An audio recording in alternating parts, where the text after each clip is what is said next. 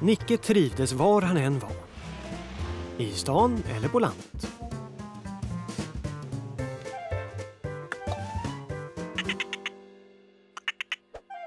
Men ekorren Hoppsan hoppade helst från träd till träd. För det var bara uppe bland träden som han trivdes. Du, är det där ekorren Hoppsan?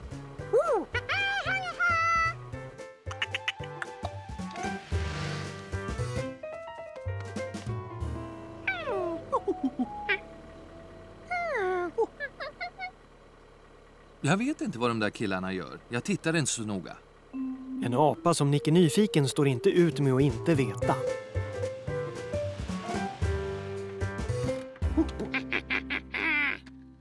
Du vill gå tillbaka och undersöka vad de gör, eller hur? Okej, men kom ihåg, var en snäll liten apa nu.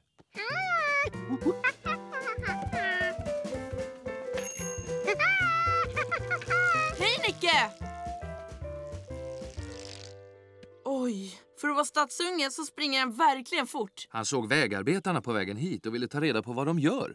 Har du inte hört? De sätter upp ett trafikljus. Trafikljus? Här på landet? Nåja, man måste väl hänga med i utvecklingen.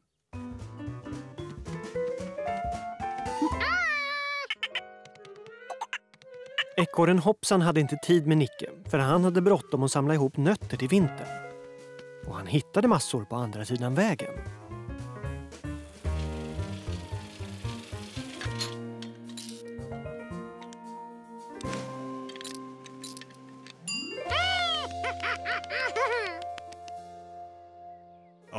De där grenarna skymmer sikten.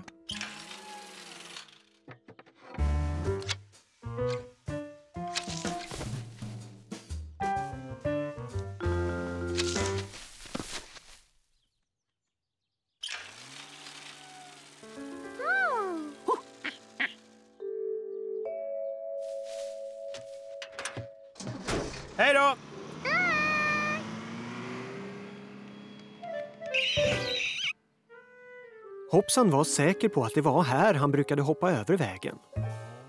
Men vad var det där för grej? Vad är det som händer här?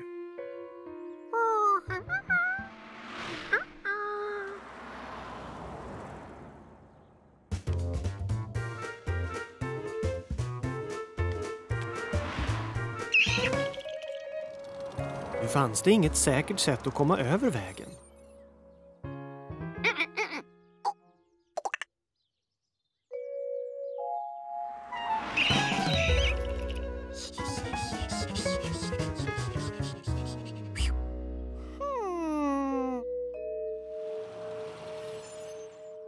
Nicke lade märke till att folk verkade gilla rött väldigt mycket.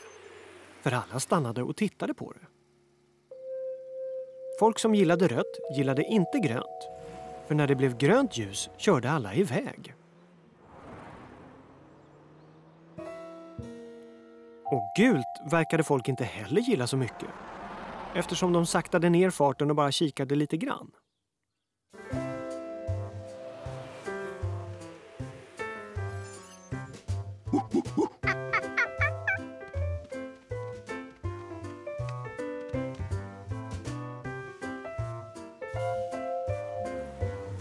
Ljuset ändrade sig hela tiden.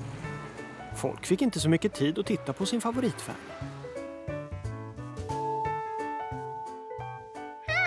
Nicke ville komma på hur man skulle göra för att det skulle bli rättvist för alla.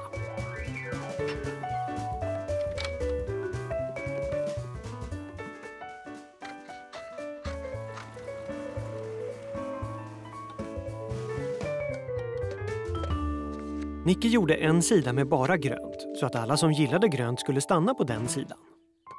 En gul sida för de som gillade gult. Och en röd sida. Den trodde Nicke skulle bli den mest populära.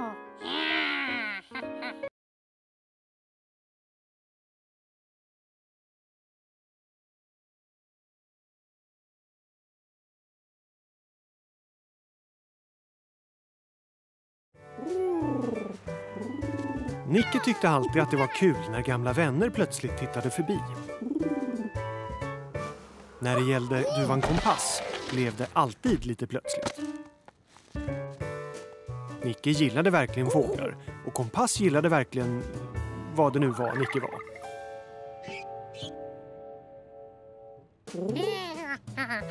Nicke tyckte han var bra på att imitera duvor.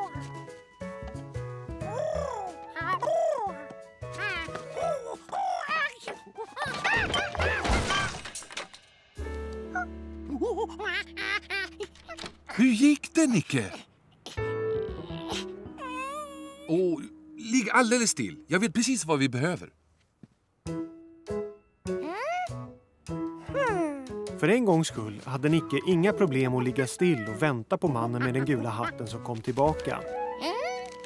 Med smör. Nej, smöret är till din fot, Nicke. Inte till en smörgås.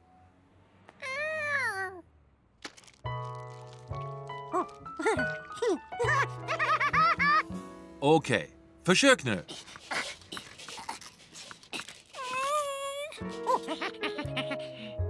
Jaha, nej, nej, jag får helt enkelt ringa brandkåren. De har ju rätt verktyg till allting. Räddningsuppdrag på gång. Någon har fastnat i en apbur på balkongen. Apor på balkongen? Varför får vi aldrig normala uppdrag?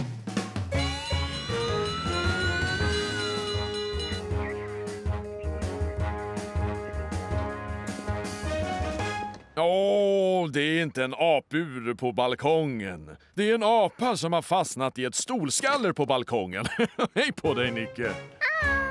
Det är fortfarande onormalt.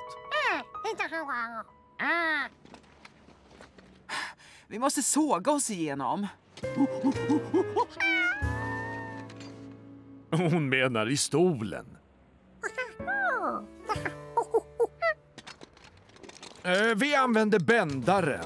Om vi särar på stolskallren så kan du dra ut foten, Nicke.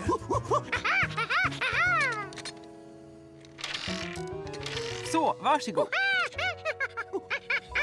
Ja, det var en dag på jobbet för brandkåren. Den här brandkåren i alla fall.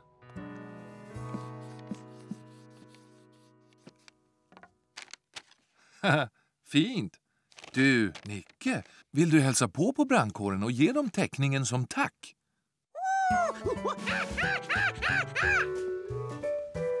Charlie! Charlie! Charlie! Charlie! Har Charlie glidit ur sitt koppel? Ja, det är tionde gången hon smiter den här månaden. Hon är en riktig utbrytarkung med päls och svans. Och vi håller ögonen öppna.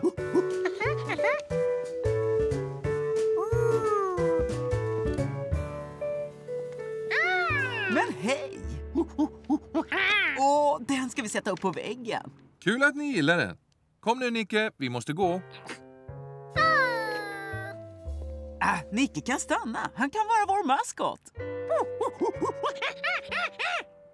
Okej. Ha det så kul nu, Nicke. Och var en snäll liten apa-maskot.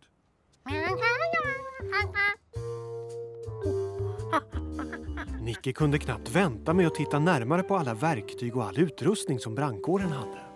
Nicke! Nicke! Hörni, har ni sett Nicke? Nej, det är bara vi här uppe. Det var ett helt rum där uppe. Räddningsuppdrag på gång. En hund har klättrat upp i ett träd. Ja, den Nicke. Hittat honom.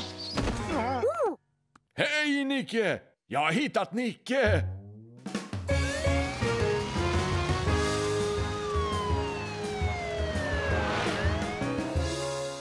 Undrar hur en hund klättrar upp i ett träd. Jag undrar varför vi aldrig får normala uppdrag. Vattenpölar. En fotboll. Och en glad liten apa. Det perfekta receptet på en kul dag på landet när det regnar.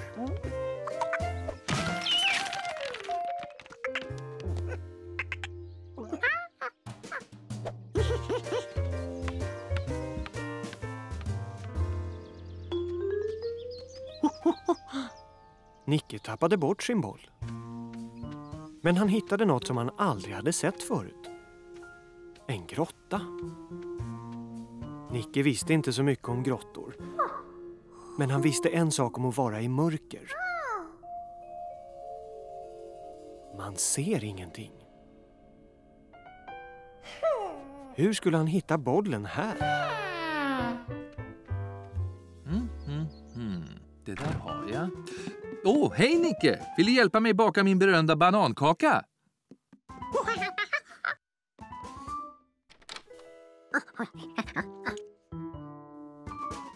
Nej, ah, oh, ah, ah.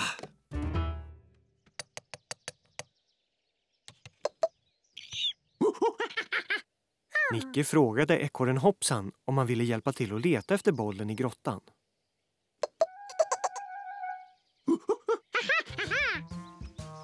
Den där ekorren visste inte vad han gick miste om när han alltid ville stanna vid träden.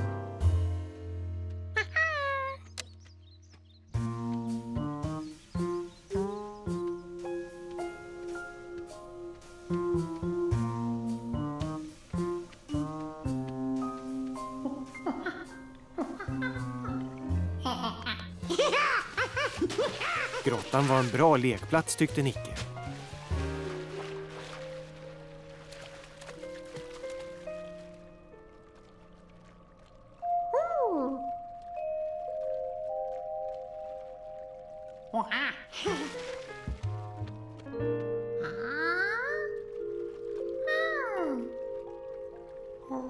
Med en liten ficklampa kunde han få fram fantasifulla skuggor.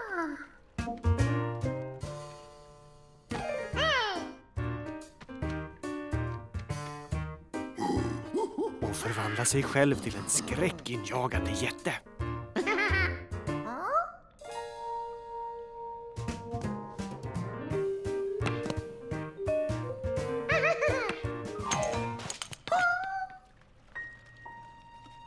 Plötsligt blev grottan jätteläskig.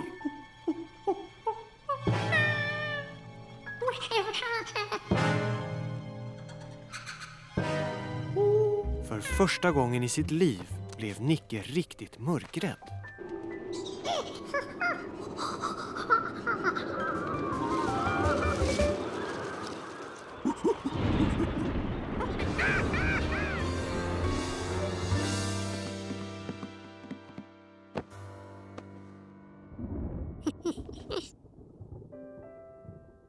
När han var i säkerhet i sitt rum blev han glad igen.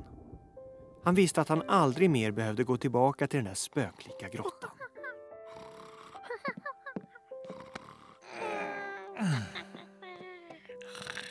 God natt, Nicke.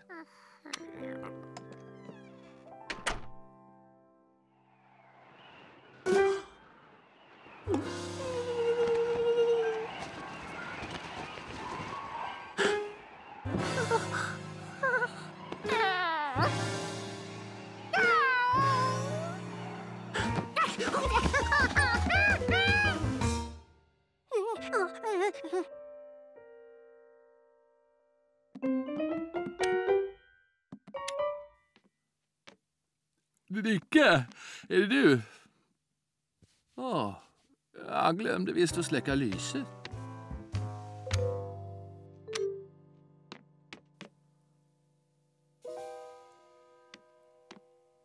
Glömde jag att släcka alla de här lamporna också? Så.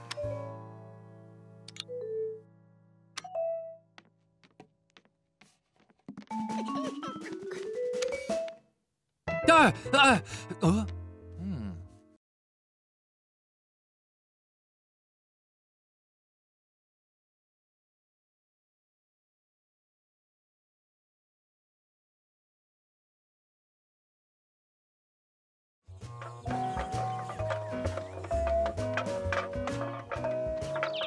Nicke tyckte väldigt mycket om allt man kunde lyssna och titta på på landet.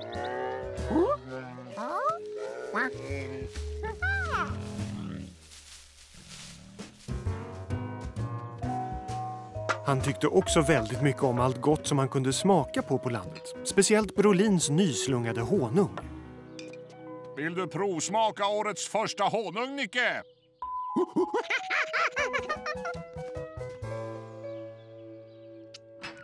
har packat ner lite hembakt bröd till honungen. Varsågod!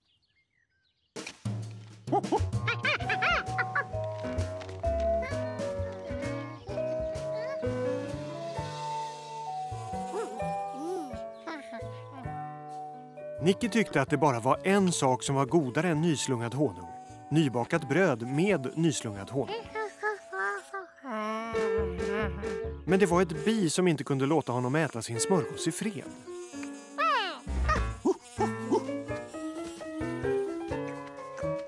Varför flög han plötsligt iväg så snabbt? Finns det något som kan vara mer intressant än bröd med honung?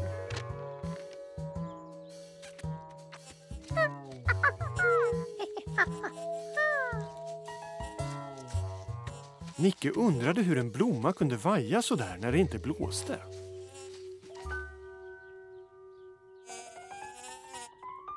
Att flyga från blomma till blomma var verkligen inte lika intressant som en smörgås med honung.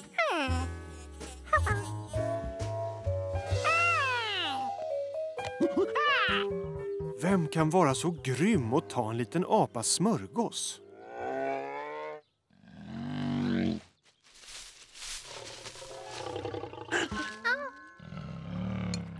En björn!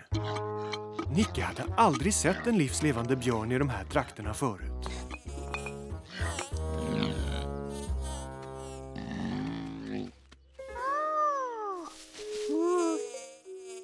Nu kom biet tillbaka.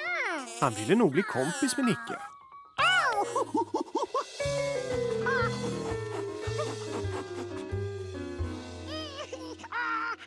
Jo, det där biet trodde nog att du skulle skada honom, Nicke.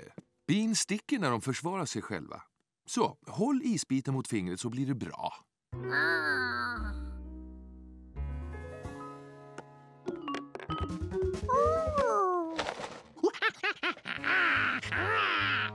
Oh, vill du ha flingor igen? Du åt ju nyss frukost.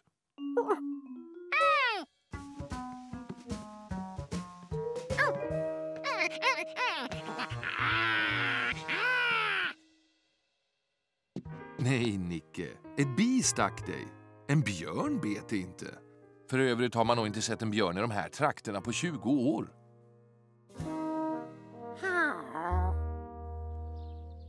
Men Nicke var säker. Han hade sett en riktig björn. Hejsan Nicke! Bill brukade veta allting.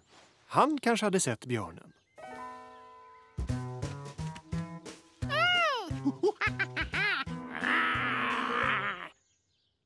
Rätt så bra imitation Nicke. Vet du att ingen har sett en björn här på över 20 år?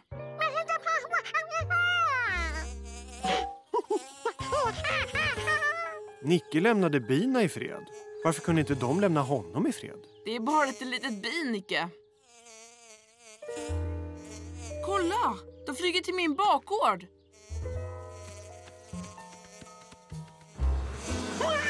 Wow! När byggde de det där? Jag måste få bort dem härifrån. De får inte sticka mina kaniner. Nicke? Nicke? Det är vackert väder ute, Nicke. Varför är du inte ute? Kom, hjälp mig att vattna lejongapen. De blommar. Titta!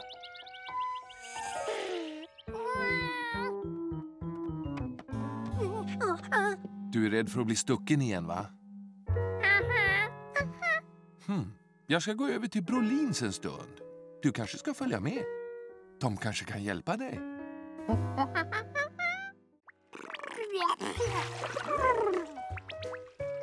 Det fanns bara två saker som kunde få Nicke att ta ett bad.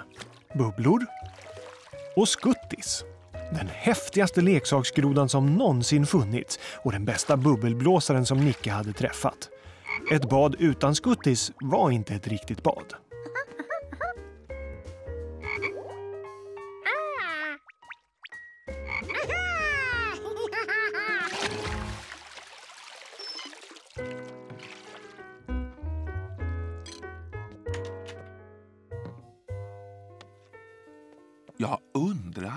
här ska vara till.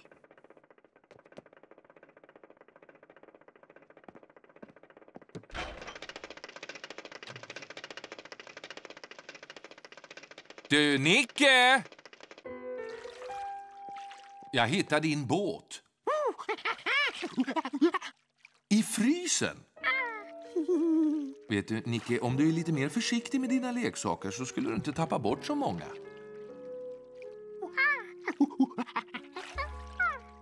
Börjar du bli klar att gå till parken?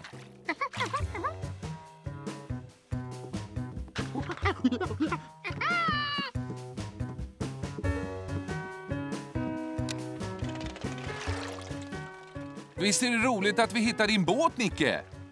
Ni, Nicke?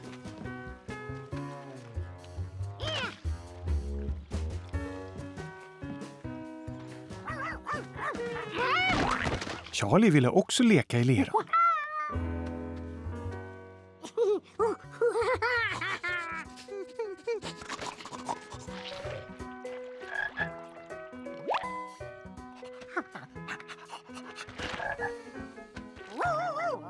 Hörru, Nicke! Vad sägs om att gå hem och äta lunch? Du måste tvätta av dig lite innan vi går hem.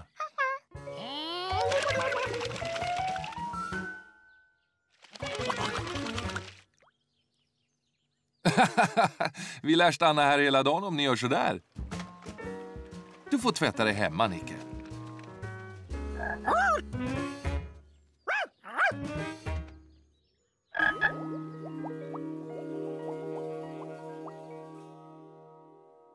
Okej, Nicke. Lunchen är klar.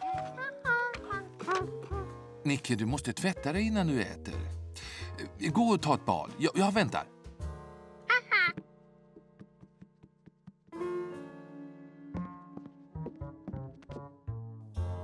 Ah.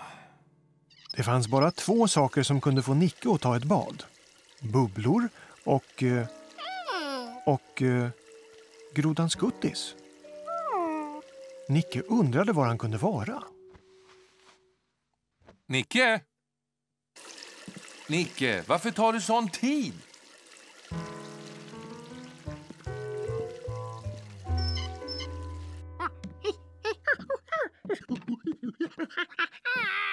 Du kan städa ditt rum sen, efter du har städat dig själv och efter vi har ätit lunch.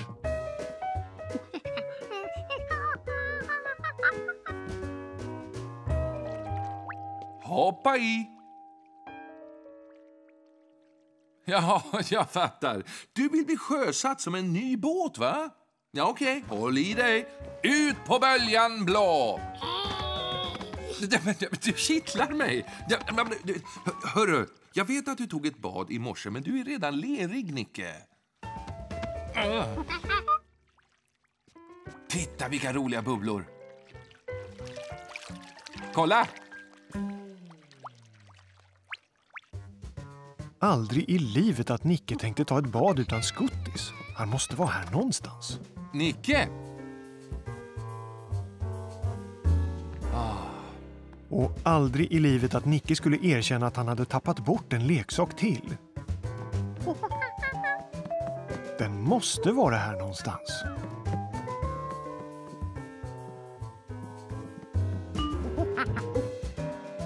Nicke!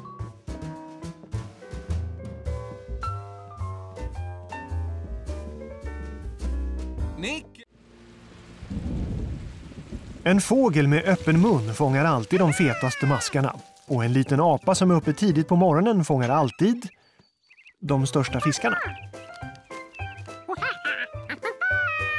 Hej då! Fiskare skryter alltid om sina fångster, men Nicke skulle bara ta kort. Oj, du ser ut som en riktig sjöman, Nicke. Har du kamera med dig? Idag börjar min årliga inventering av alla levande varelser i Hopp och Plastsjön. Och du är min fiskefotograf. Jag hittar dem och du tar ett kort på dem.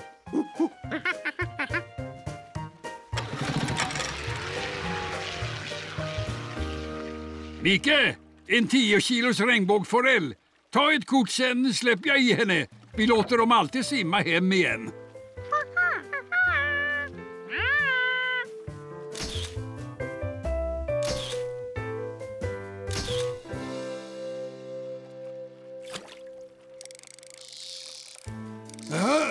Åh, det är en stor en. Var beredd med din kamera. Åh, oh, boy! Ja, den här kastar vi inte tillbaka. Men om vi hittar resten av orkestern så behöver vi en större båt.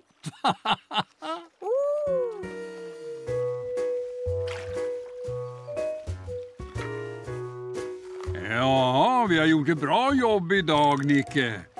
Man vet aldrig vad som hamnar här efter ett häftigt regn. Åh! Oh! Ja, den fiskar vi upp imorgon.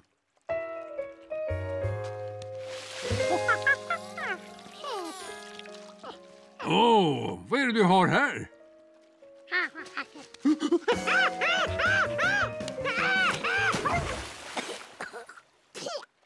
En amerikansk ål. Jag har aldrig sett någon sån här förut. Du måste ta kort på den.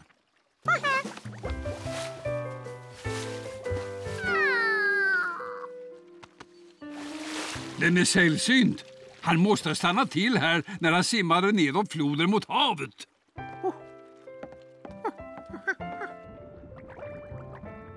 Du kan ta kort på honom imorgon och sen ska vi se till att han kommer dit han ska.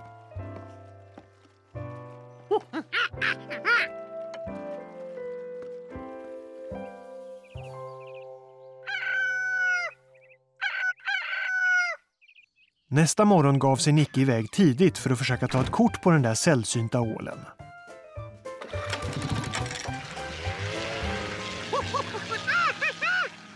Åh, ledsen Nicke! En val har simmat vilse precis där floden möter havet och jag ska åka och hjälpa till. Vi får leta efter den där ålen imorgon. Hej Nicke! Sa Arqvist att ni hade sett en ål? I den här sjön? Det har aldrig funnits ål i den här sjön. Jag ska fånga den och ta med den hem. Jaså, du vill fånga den helt själv va? Okej, okay. vi har en tävling. Jag springer hem till mina grejer.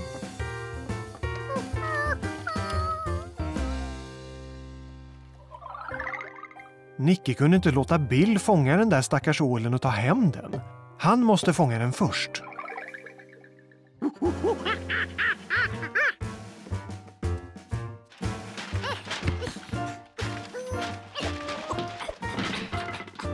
Nu när herr Kvist och hela hans fiskeutrustning var borta måste Nicke skaffa sig en egen utrustning, fort.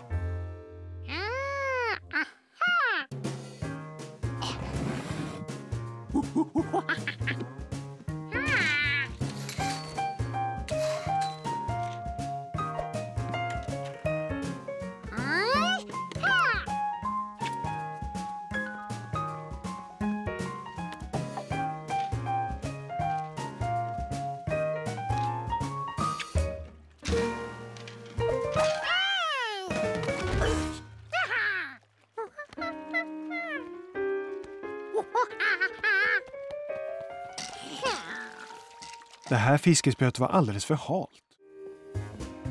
Det var en vacker sommarmorgon och Nicke ville promenera till tunnelbanan med mannen med den gula hatten. Jag är ledsen att jag går så fort, Nicke, men jag får inte komma för sent. Nicke? Ja, han ville promenera från början. Sen såg Nicke någonting som var så fantastiskt att han måste stanna. Åh, oh, oh, där är du! Är det en leksak du vill ha? Ja, men du har ju redan en sån dinosaurie. Vill du ha en ugn? Nicke hade aldrig haft en leksak som kunde göra kakor. Söta, smaskiga kakor. Jag är ledsen Nicke, men den där är dyr och jag köpte ju faktiskt en dyr leksak åt dig förra veckan. Nicke, kan vi prata om det här sen? Jag kommer för sent till jobbet. Ledsen Nicke, men jag kan inte köpa alla leksaker du vill ha.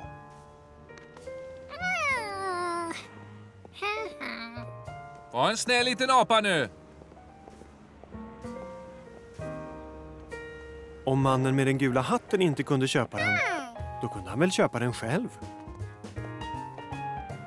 Han behövde bara skaffa sig ett jobb och börja tjäna egna pengar. Men eh, herr Glas behövde ingen fönsterputsare idag.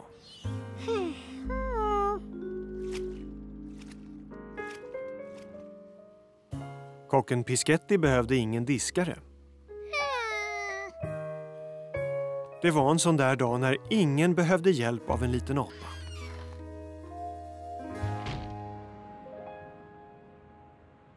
Den nya sommarskyltningen kommer verkligen locka kunder, pappa. Palmen ska stå här, badbollen hänger här och girlanger överallt. Jag gillar det. Bra jobbat min son. Det tar ett par timmar att hämta allting. Vi gör i ordning allting sen. Jag skulle behöva några händer till medan du är borta. Om du skulle ha fler händer skulle det vara som Nicke. Jag önskar jag hade en anställd med fyra händer.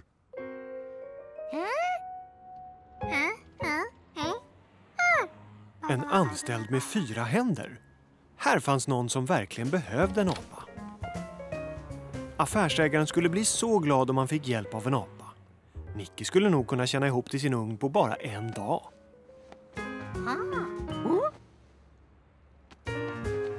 Hallå, jobbar du här? Perfekt. Jag vill ha några bananer. Kan du hjälpa mig? De måste vara jättesöta. Jag ska baka en banankaka till min mamma. Nicke visste det bästa sättet att hitta de sötaste bananerna. De här bananerna måste ligga under disken, inte längst upp. Vad tror du om klasen bakom dig? Inte bananerna framför dig, de som ligger bakom.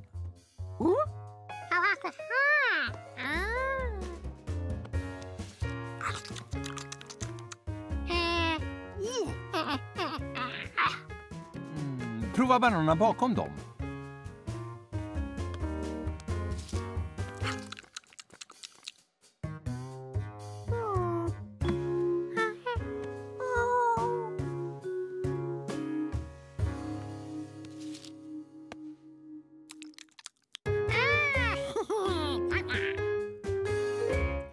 Tack. Det här var den bästa service jag någonsin fått i någon affär.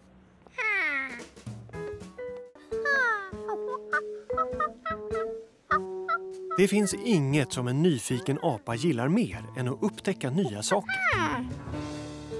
Och ett museum är ett perfekt ställe om man vill upptäcka saker. Som till exempel hur annorlunda en sak kan se ut om man bara tittar på en liten bit av den.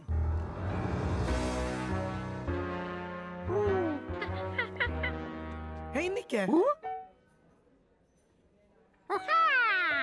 Du tar en noggrann titt på våra dinosaurier ser jag. Då kommer det här att intressera dig. Det nyligen upptäckta stegosaurus-skelettet på vår nya utställning.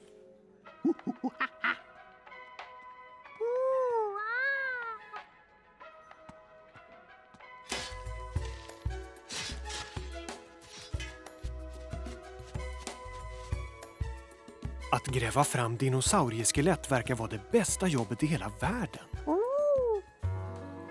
När Nicke hade varit på museet fick han alltid en massa nytt att tänka på. Han var inte som Charlie, som bara tänkte på en sak. Att leka.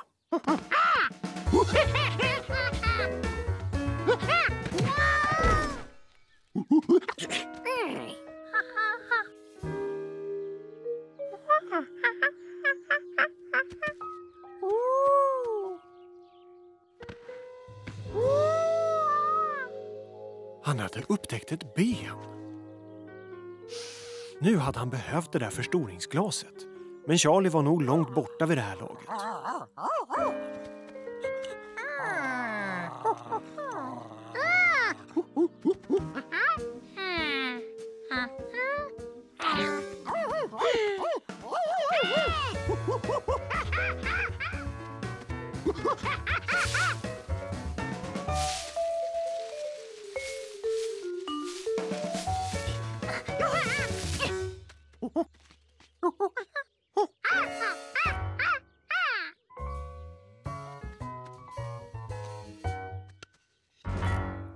Nicke kunde ju inte låta Charlie tugga på det. Tänk om en dinosaurie hade tappat det här på väg till museet.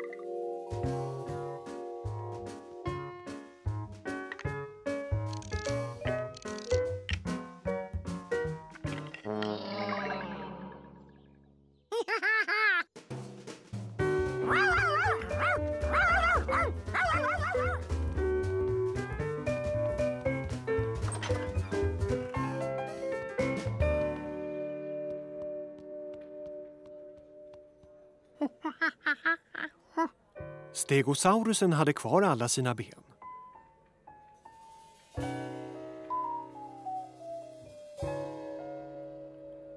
Och triceratopsen också.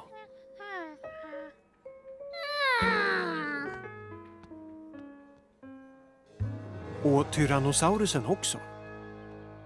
Om det inte var en dinosaurie som hade tappat det, vilken sorts djur kan det då vara?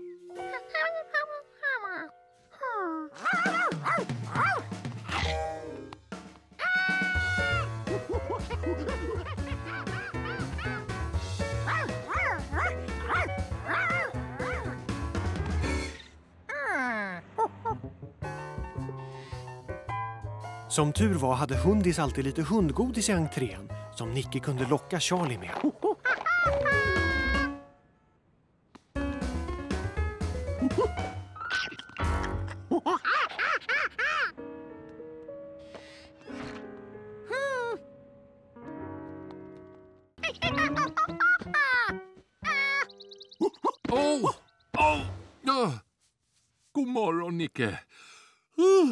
Ska bara sova några minuter till. Oh.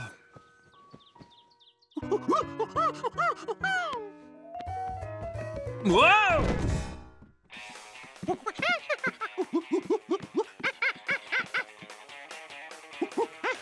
Skynda er hit!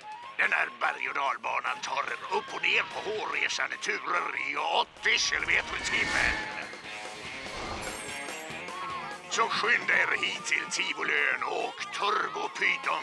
tusen. Det är kapten Sammys order. Ja, ja, det ser väldigt spännande ut, Nicke. Men i alla fall så har vi en massa ärenden att göra idag. Och jag...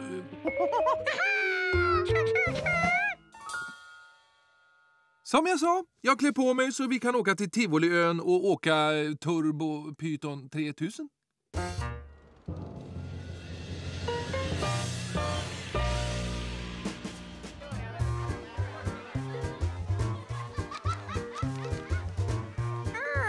Ät inte upp allt godis på en gång nu, okej Nicke?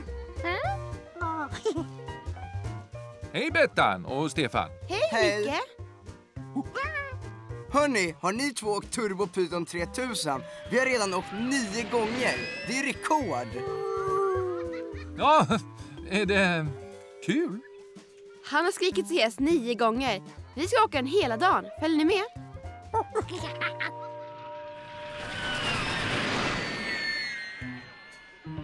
Alla tyckte det var jättekul att åka Turbopython 3000. Utom mannen med den gula hatten. Han tyckte det var läskigt att åka berg och dalbana. Och han kom ihåg första och sista gången han åkte berg och dalbana. Det var länge sedan och då var han bara pojken med den gula hatten.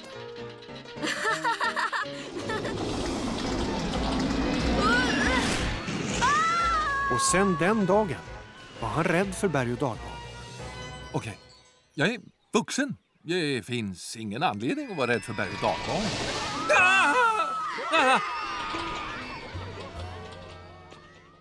Ah! Eh, ha så kul, Nicke. Oh, jag är törstig. Ursäkta mig. Jag är ledsen, men du får inte åka Turbo Python 3000. Du måste vara så här lång för att få åka. Och eh, det är du inte. Ledsen grabben. det gäller dig med, grabben. Åh.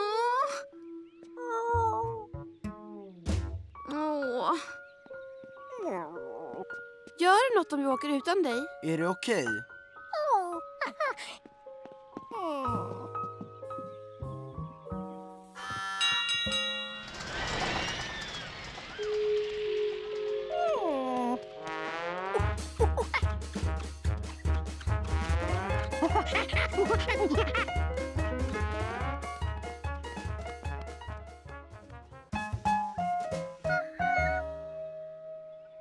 Ledsen, jag mäter till toppen av huvudet, inte till toppen av hatten.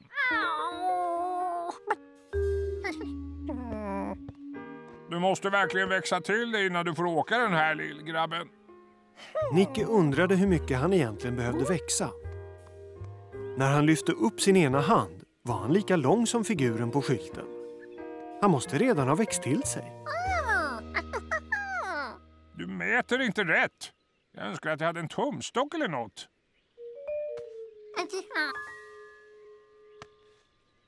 Eh, Får se nu. En, två, tre, fyra, fem. Skylten är fem godisstänger lång och du är mm, en, två, tre, fyra godisstänger lång. Du kan komma tillbaks när du har växt en godisstång till. Till dess, ha kul i resten av parken.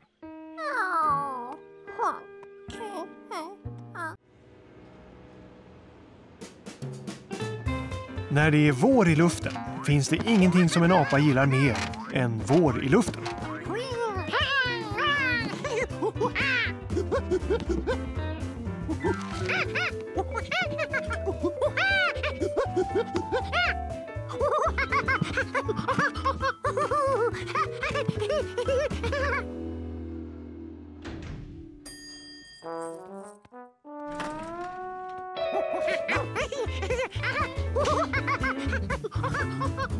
Hundis vill ha ordning och reda i entrén. Därför är han alltid extra vaksam när Nicke dyker upp.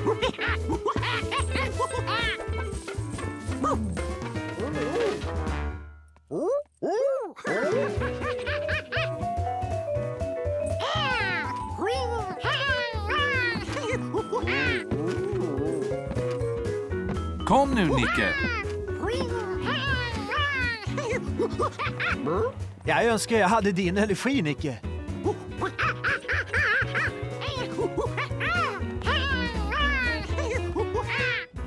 Hundis blev trött bara av att titta på Nicke.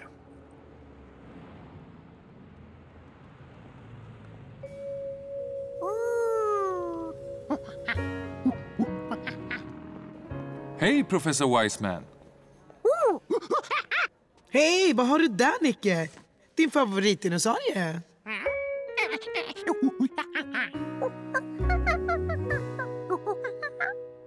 Åh, det är din favorit.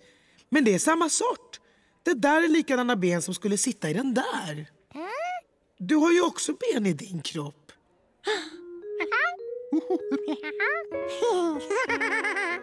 Känn på armen. De hårda delarna, det är ben. Det är ditt skelett.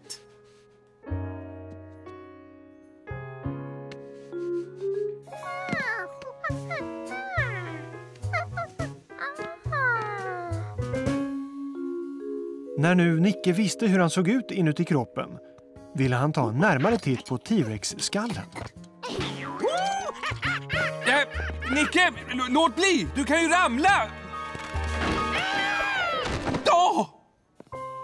Gick det bra?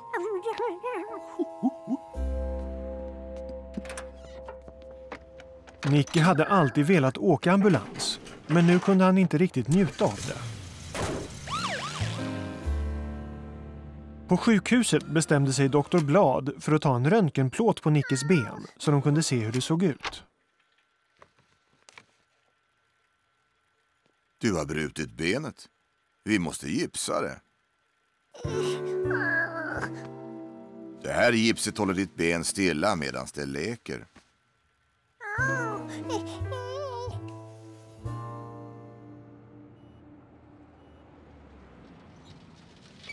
Titta, där kommer visst Nicke. Hundis visste vad han måste göra när han hörde det namnet. Han gjorde sig redo att försvara ordningen i entrén. Stackars lilla grabben. Klarar han det bra? Eh, ja, men han måste ta det lugnt i flera veckor. Inget hoppande. Inget oväsen. Hundis var inte så säker på att det här var Nicke.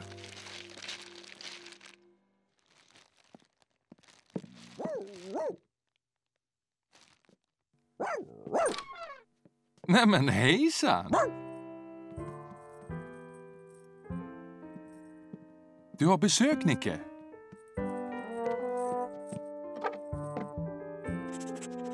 Jo, visst var det Nicke. Det var ingen annan i huset som luktade sådär. Hallå? Är Hundis hos er? Ja, vi är i Nickes rum. Vet du, det finns ingen i det här huset som Hundis är så uppmärksam mot som mot Nicke. Det är vänskap. Hundis kan göra Nicke sällskap när du går till jobbet. Jag befriar honom från hans plikter i entrén. Nicke, vill du att Hundi ska sitta apvakt åt dig?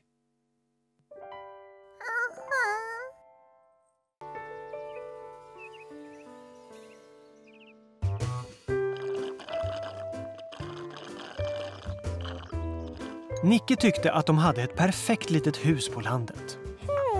Men ibland undrade han hur det skulle vara att ha ett perfekt stort hus.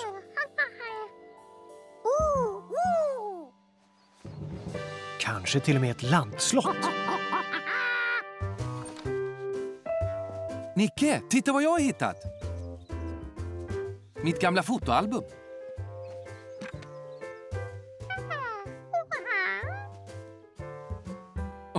Den där pojken. Det är jag. Eh, I alla fall, det fick mig att tänka på, jag har inte varit på stranden på evigheter. Vill du åka dit? Vi kan bygga sandslott. Ja, ja, jag vet inte om vi kan bygga ett sandslott som är så där fint. Men vi kan ju alltid försöka.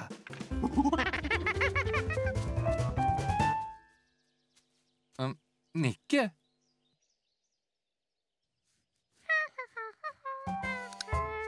Ja, det här betyder väl att du vill åka till stranden?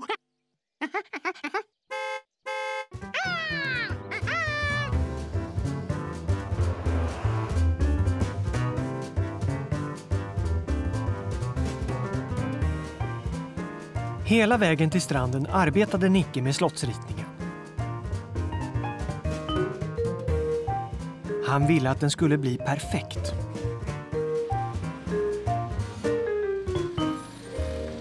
Nicke, vi är framme.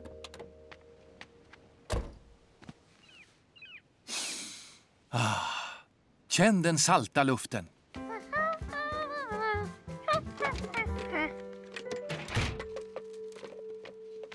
Nicke!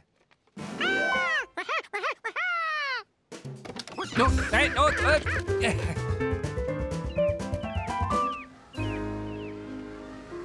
Nicke hade inte förstått att det fanns så här mycket plats att bygga ett slott på. På den här stora ytan kunde han bygga något som var mycket större. Nicke, vänta på mig!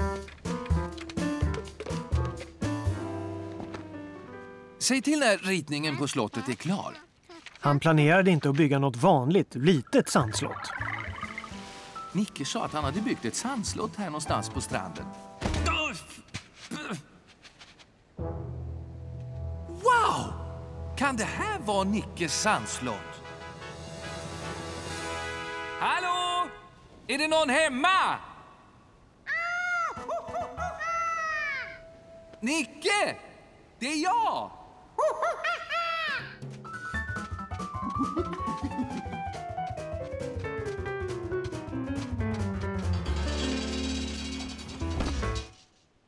Nicke, det är det häftigaste sandslott en apa någonsin har byggt i hela världen! Nu visste han precis hur hans sandslott skulle se ut. Och han ville att det skulle bli en överraskning. Åh, oh, ska sandslottet se ut så där?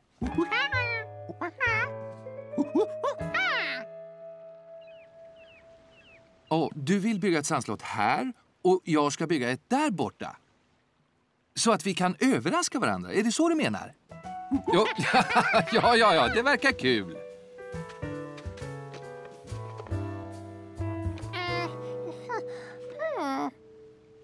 Du behöver hink och spade om du ska bygga ett sandslott. Nicke som hade trott att han skulle bygga ett helt sandslott för hand. Det här skulle bli lättare än han trott. Jag kan ge dig några tips. Oh, okej, jag är bakom den här sanddynen så du inte ser vad jag bygger.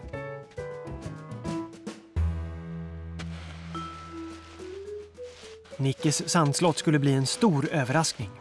Jättestor!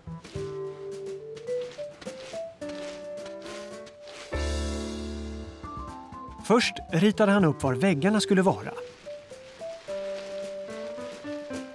Sen märkte han ut var dörren skulle vara. Man måste alltid veta var utgången är om det skulle börja brinna.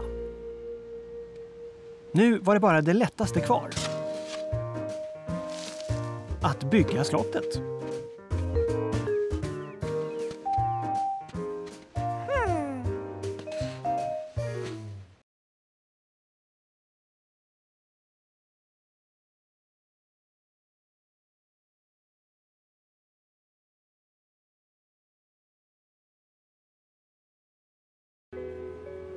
Det är sommareftermiddag. Den bästa tiden för leta efter duva-leken.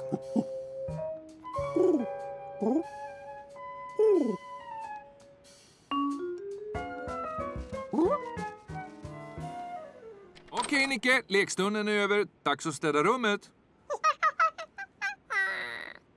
Du får leka med kompass när du har städat rummet.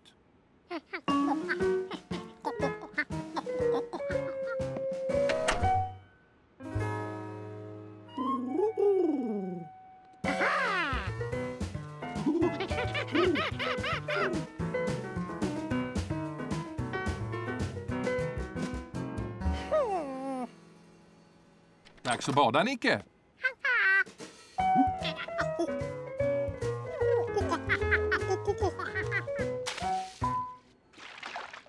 Ja, jag tror inte du får plats i fågelbadet, Nicke. Du är definitivt en badkarsapa.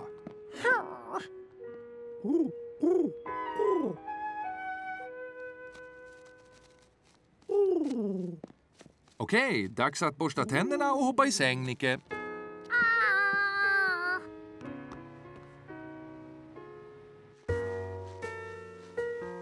Nicke tyckte det var toppen att vara en liten apa. Men det var ju aldrig någon som sa till en duva vad den skulle göra. Nicke, dags att städa rummet, ta ett bad, tvätta öronen, borsta dina tänder, hoppa i säng, vakna, gör i ordning frukost.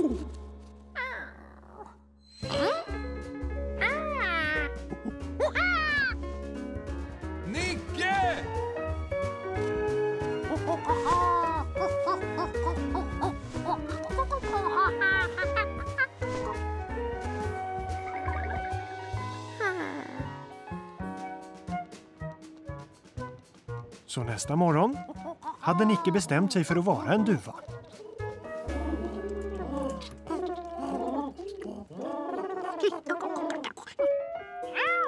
Nicke upptäckte att fåglar har en speciell sak som de pickar med.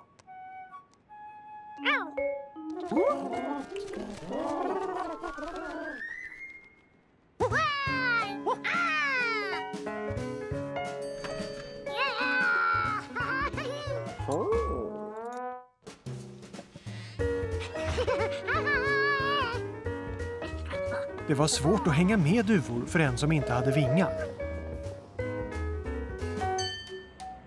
Och duvor behövde inte stanna när det blev rött ljus för fotgängare.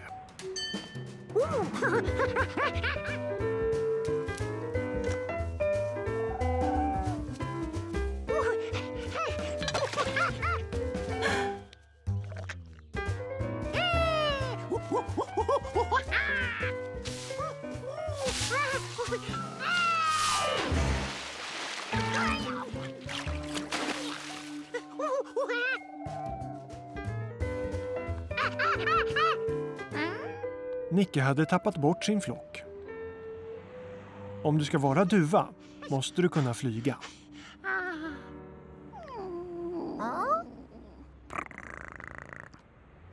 Att vara katt verkade mycket enklare än att vara duva.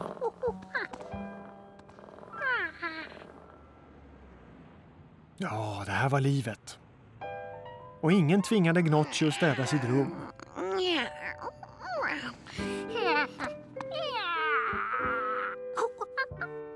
Och eh, katter kunde ta ett bad precis var som helst. Och precis när som helst. Kattbad var okej. Om man gillade att få hår i munnen och spott i ansiktet. Att vara katt var nog inte heller något för Nicke.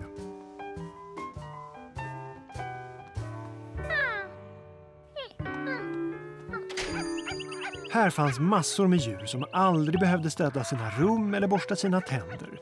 Här skulle säkert Nicke hitta något djur som han kunde vara. Till exempel en kameleont. De kunde ändra färg utan att anstränga sig. En solig dag med trädgårdsarbete betydde bara en sak för Nicke Nyfiken. Nu borde du ha mjuknat lite grann. Försök igen, Nicke.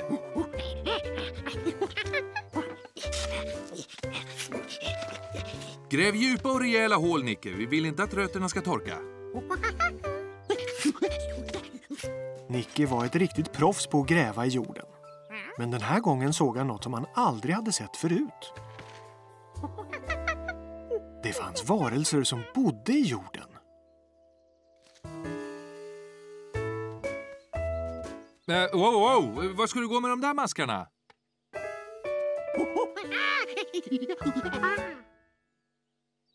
Nicke, vi har varit med om det här förut. Minns du? Sköldpaddan.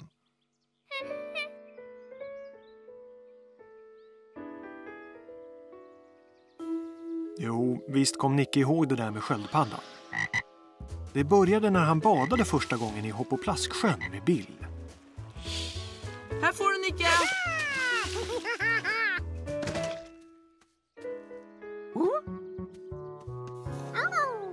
Ser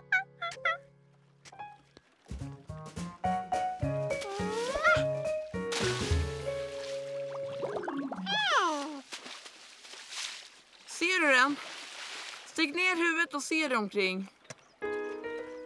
Nicke hade aldrig stoppat ner huvudet under vattnet i en sjö förut. Nicke stack ner huvudet under vattnet och vattnet stack ner i Nickes hals. Nicke, gick det bra?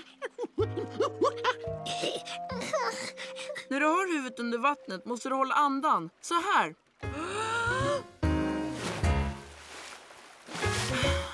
Så du, nu får du försöka.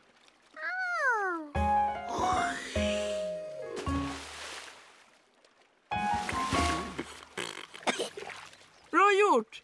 Såg du den? Ni stadsungar. Du måste hålla ögonen öppna om du ska se någonting. Här, låna mitt cyklop. Det gör att du inte får vatten i ögonen och då blir det lättare att se under vattnet. Oh boy, du kommer bli så överraskad. Det är som ett undervattenszoo.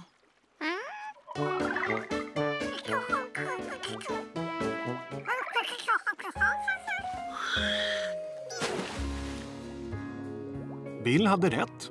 Det fanns massor med undervattensdjur där nere, så det var verkligen som ett zoo. Ett väldigt blött zoo.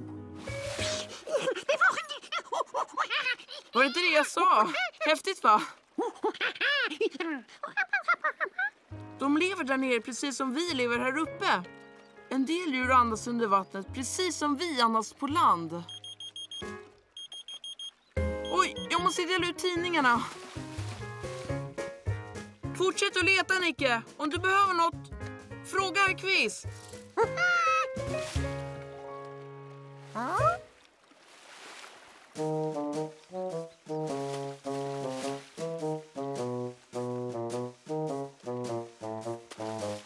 Sköldpaddor levde på land, precis som apor och människor. Men visste de hur man höll andan länge under vattnet? Nicke visste inte det och han var rätt så säker på att han var smartare än en sköldpadda.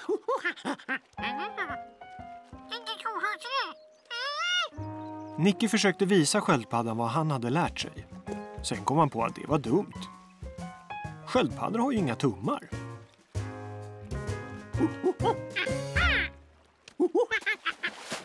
Så eh, han sa till honom att stanna uppe på land. För hans eget bästa.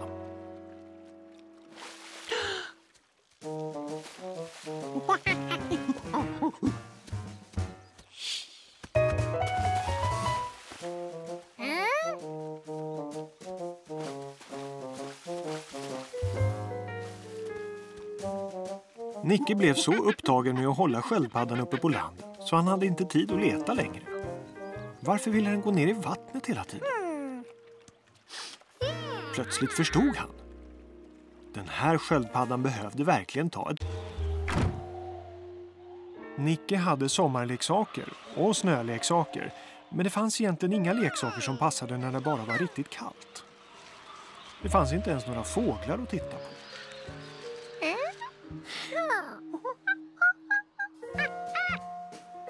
Men en jättetråkig dag som den här kan räddas om man går och hälsar på hos kaninerna.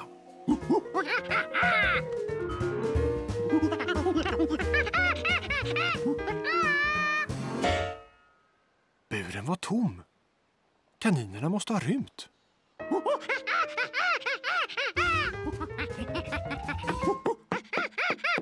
Vad är det som har hänt, Nicke? Åh, du letar efter kaninerna. Åh, oroa er inte. Jag tog in dem för det var så kallt ute. Vilken tur att du kom. Vi ska hem till min mormor. Kan du göra mig en tjänst medan jag är borta? Nicke visste att Bill skulle fråga om han ville ta hand om kaninerna. Det hade han alltid drömt om att få göra. Nicke skulle bara välja filmer som kaniner tycker om. Och spela spel som de tycker om. Och visa dem sina bästa kaninbilderböcker. Jag ska ta med mig kaninerna och lämna dem hos min mormor resten av vintern. Ja, det är för kallt ute. Jag får inte ha dem inne för mina föräldrar. Mormor har en varm plats där de kan vara under hela vintern.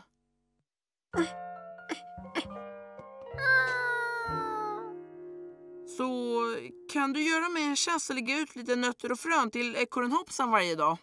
Jag vill ju inte att han ska svälta om marken blir för hård och han inte kan hitta mat. Vi ses senare, Nicke!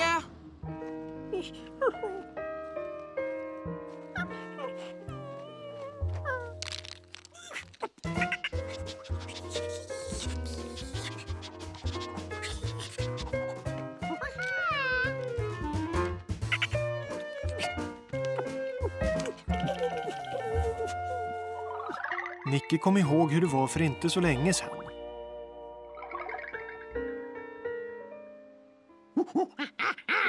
Varför måste alla roliga saker försvinna för att sommaren tar slut?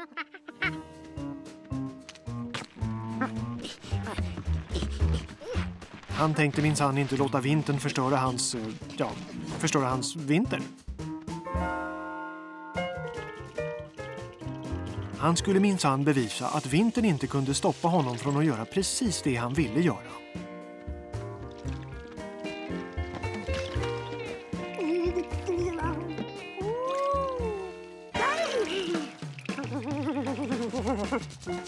Men iskallt vatten kan stoppa en liten apas planer väldigt snabbt. Nicke, jag är tillbaka! Jag har köpt den där jättegoda varma chokladen.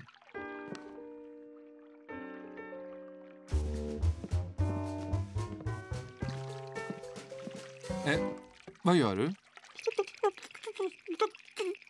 Tinar upp dina fötter i varmt vatten för att de är förfrusna? Ja, när det är för kallt att leka ute så är varm choklad räddningen.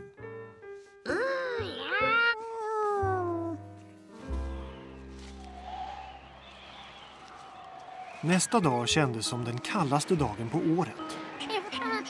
Glöm inte halsduken.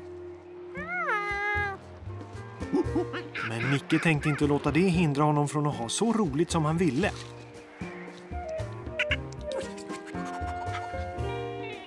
Dags att ha lite roligt.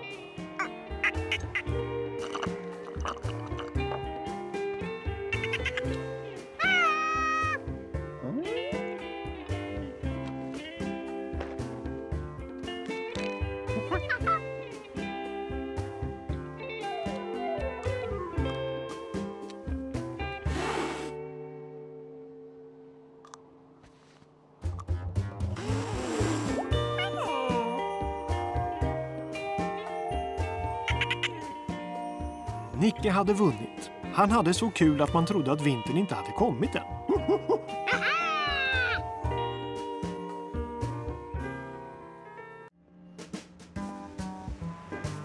Nicke tyckte att det var en mycket speciell dag idag. De skulle gå på museum. Men Men först skulle de gå in på restaurang Pischetti och äta något gott. Nicke, den kommer ju inte att försvinna.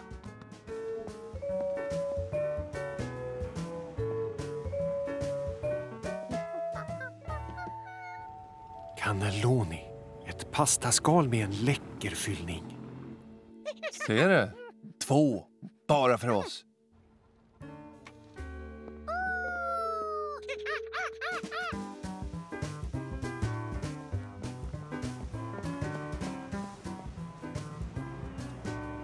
Hej Gnocchi! Har du eget hus nu?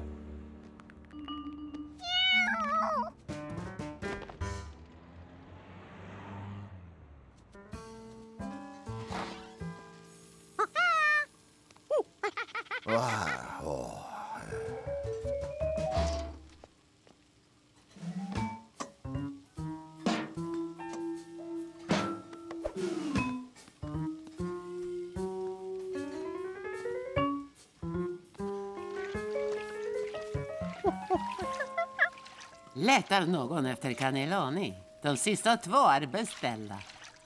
Ah, jag är ledsen. Jag gör inga fler cannelloni idag. Jag är så upprörd. Vad är det som har hänt? Oh, mio caro Gnocchi. Hon har smugit sig in på restaurangen och klöst sönder sofforna. Det är en katastrof! Ser ni? Titta vad hon har gjort!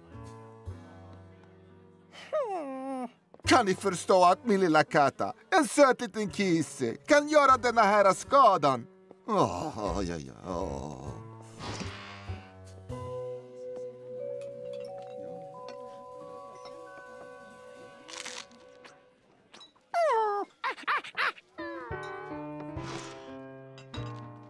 Ah, jag måste portförbjuda Gnocchi från restaurangen. Ja, men vi såg huset du har byggt åt henne. Det är väldigt fint. Tackar! Jag har också tänkt bygga en övervåning. Ja? Oj, oj, oj, det är Gnocchi. Hon försöker komma in. Åh, det känns inte bra. Hon vill bara komma in för att du säger hon inte får. Åh, typiskt den där. Det här köket är en plåga. Jag misstänker att det blir ingen cannelloni tills vi löser detta problemet. Nej? Ut med dig!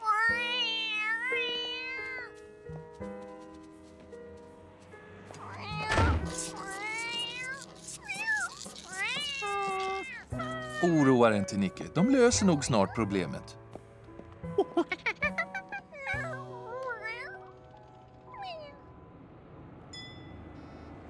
Inne på museet var Nicke alldeles för tankspridd för att kunna koncentrera sig.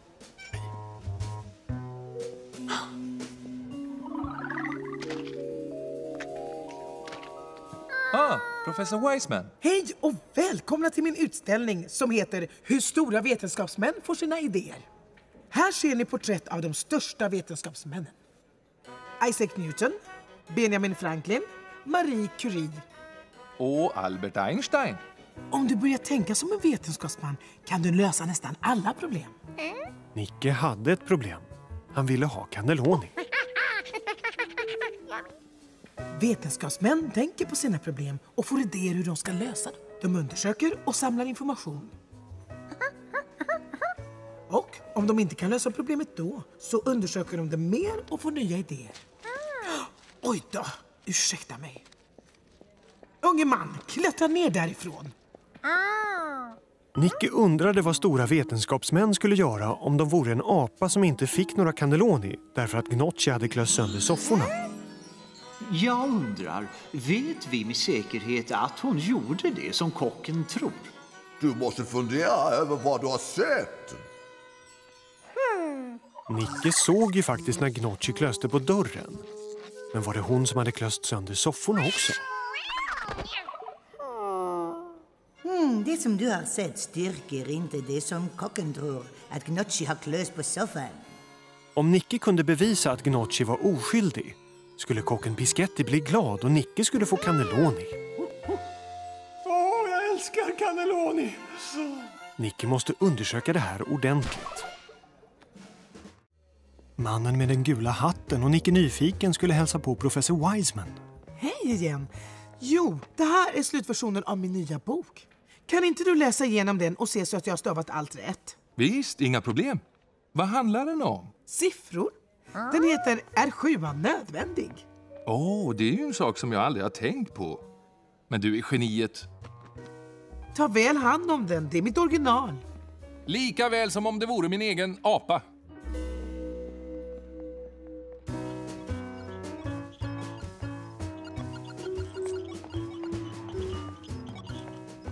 Du har spelat två dagar i sträck nu. När är min tur? Tycker du verkligen att jag ska ge upp mitt rekord bara för att det är min lilla systers tur? Uh, ja. Hejsan Bettan, Stefan och Charlie. Hej! Vad är det där? Åh, det är professor Wisemans nya bok om sifferkombinationer och logik. Ha! Bettan är för liten för att förstå sådana där saker. Det är jag ju inte. Vad betyder det då? Uh, ja, det vet jag när jag läst boken. Wow! Charlie vill fortsätta promenaden. Vi ses!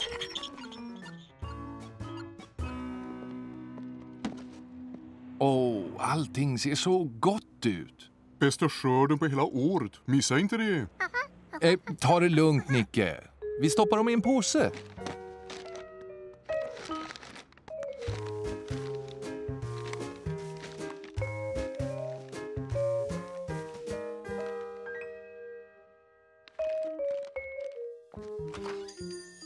Nej, men Nicke, stanna där! Vänta på mig!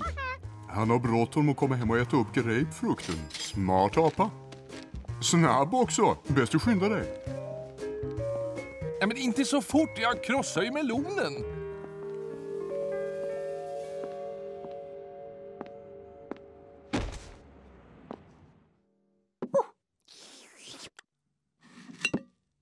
Ah, nu ska jag sätta mig ner och läsa professor Wisemans bok. Vänta nu, var är boken? Men var kan den vara? Jag, jag, jag höll ju i den hela tiden.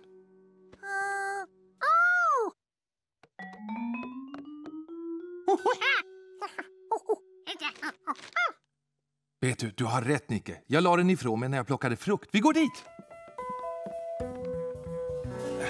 Ja, men, är du säker på att jag la den här? Ursäkta mig, såg du ett paket ungefär så här stort på marken? Nej, tyvärr.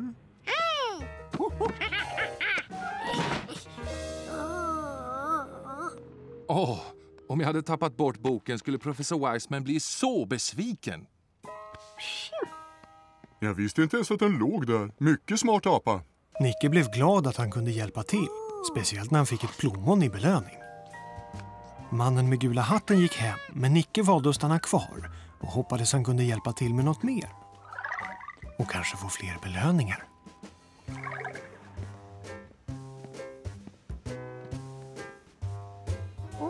Den där vänliga kvinnan glömde ett paket. Nu hade han chansen att få en till belöning.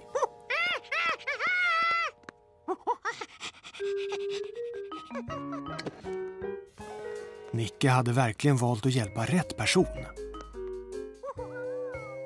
Hon hade glömt ett till paket.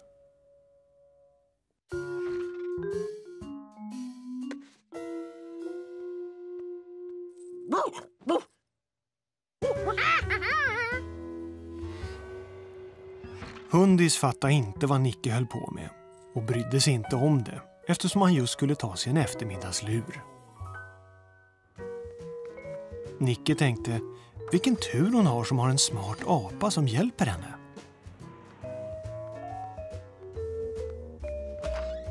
För jösses vad hon var glömsk.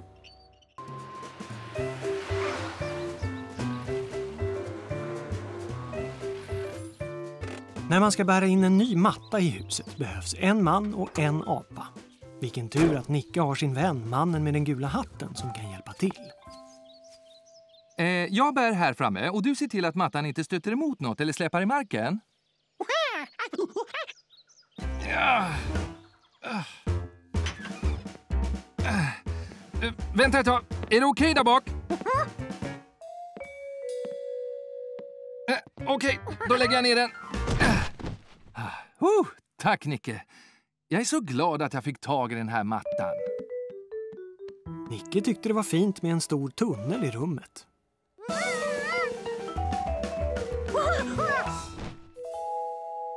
Det var fint när den var utrullad också. Professor Wiseman hade rätt. Det är en jättefin matta. Oh, jag måste ta ett kort och visa henne. Åh, har man sett? Jag har glömt att köpa batterier. Okej, jag är snart tillbaka. Var en snäll liten apa.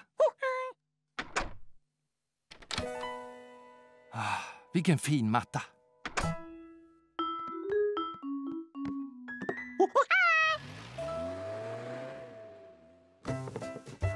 Att bära in en matta gör alltid en liten apa törstig på vinbärssaft.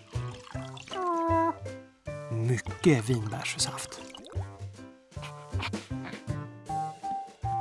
Det är skönt att vifta med tårna på mattan. Så eh, det är antagligen skönt att hoppa på den också.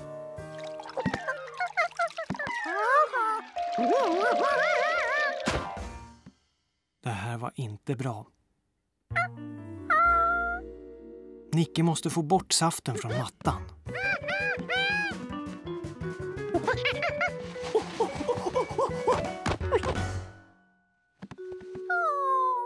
Vad ska han göra nu? Tvål. Tvål tvättar rent saker. Mycket tvål tvättar ännu mera rent. Skumbad kommer att få den att lukta gott.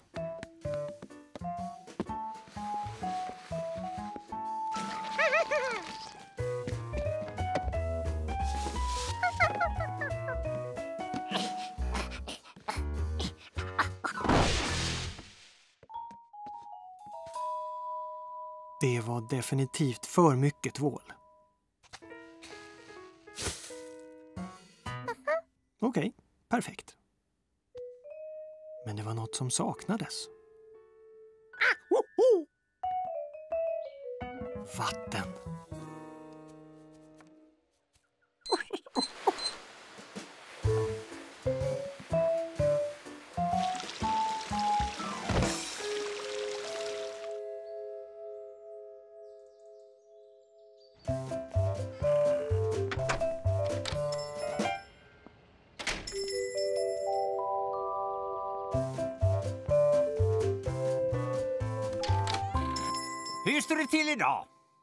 Vilja köpa den här. Den skulle passa perfekt till min nya fina matta. Vänta, vänta, de här benen. Mm, ja, de skulle nog riva sönder min fina matta. Åh, oh, jag kan fixa det. Jag byter dem mot några som inte kan riva sönder mattan. Tar bara några minuter om ni har tid att vänta. Jag kan knappt vänta med att ta ett kort på den där pallen och min nya matta. Ah. Då sa jag att jag köpt en jättefin matta!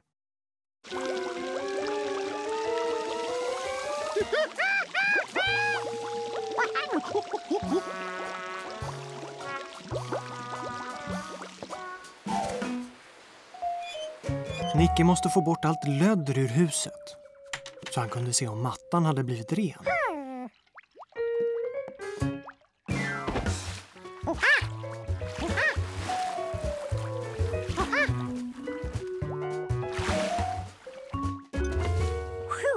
Nicke blev glad när han såg glaset med vinbärssaft.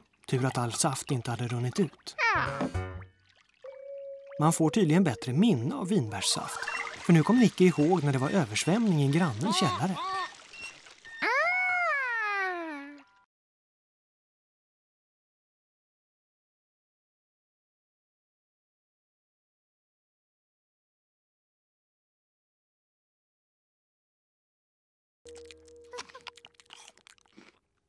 För Nicke var det en perfekt morgon. Att få äta och läsa och inte ha någonting annat att göra. Men det fanns en sak han borde göra. Nicke, igår så lovade ju du att du skulle städa här. Du får inte slänga leksaker överallt. Någon kan göra sig illa.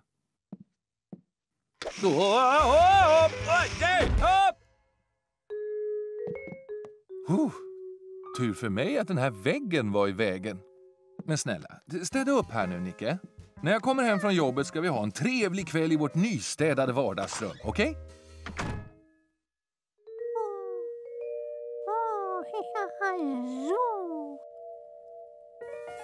Rulla på en bil såg kul ut. Om man slapp rulla in i en vägg förstås.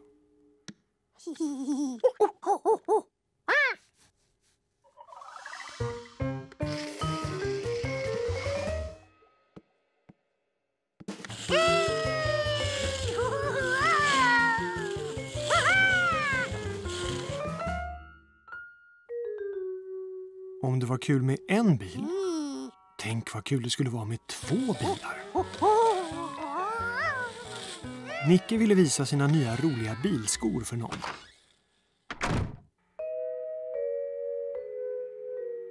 Nicke kunde knappt vänta med att se Hundis min.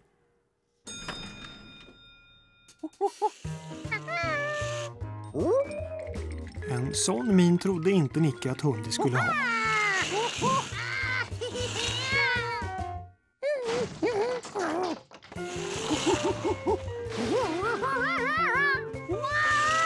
Hundis ville inte ha avtryck av aphänder på de rena, blanka dörrarna.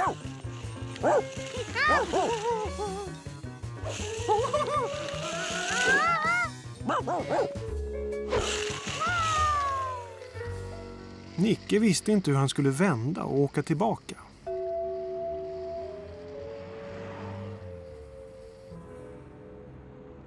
Kolla här. Vi har alldeles för många rullskridskor. Hur ska vi få folk att bli mer intresserade av rullskridskor? Vad sägs om en rullskridskoåkande apa som visar hur man gör? Och var hade du tänkt att vi skulle hitta en rullskridskoåkande apa? Rullskridskorna är en present från oss. Du ska bara åka utanför vår butik så mycket du kan. Mm, bäst att du ger honom ett par till. Han har fyra fötter. Jag trodde han hade fyra händer, men visst. Här kommer ett par till. Okej, kan vi få, eh, få se vad du kan göra?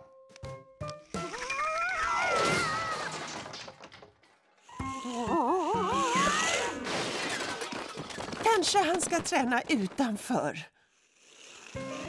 Där du! Så träna nu, lilla herrn. Och sen kommer du hit. Okej. Tror du vi kommer att få se honom igen? Om du inte kan lita på en apa, vem kan du lita på då? Nicke gillade sina nya rullskridskor. Men vad skulle man ha de där svarta grejerna till?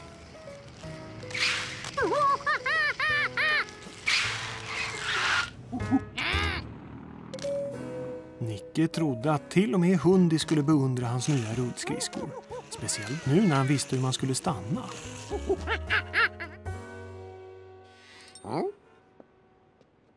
Oj, vänta så ska jag hjälpa dig. Hundis, du tar över.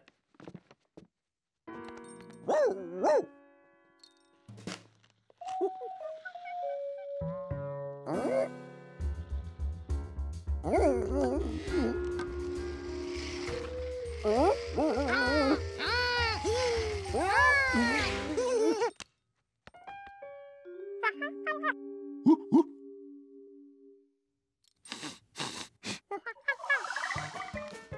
apa på hjul såg konstigt ut. En stilig och smidig tax på hjul. Nicke visste precis vad Hundis ville göra.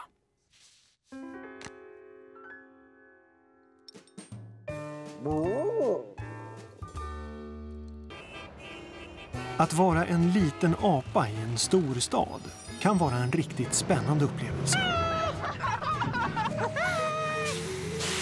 Men ingenting är perfekt. Oh, ja, vi skulle verkligen behöva lite lantluft, va? Mannen med den gula hatten vet när det är läge att fly storstadens trafik och buller.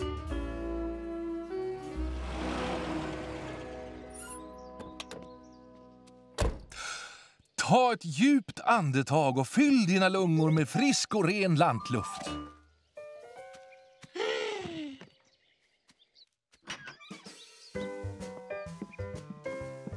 Ah, Skönt att vara här igen, eller hur?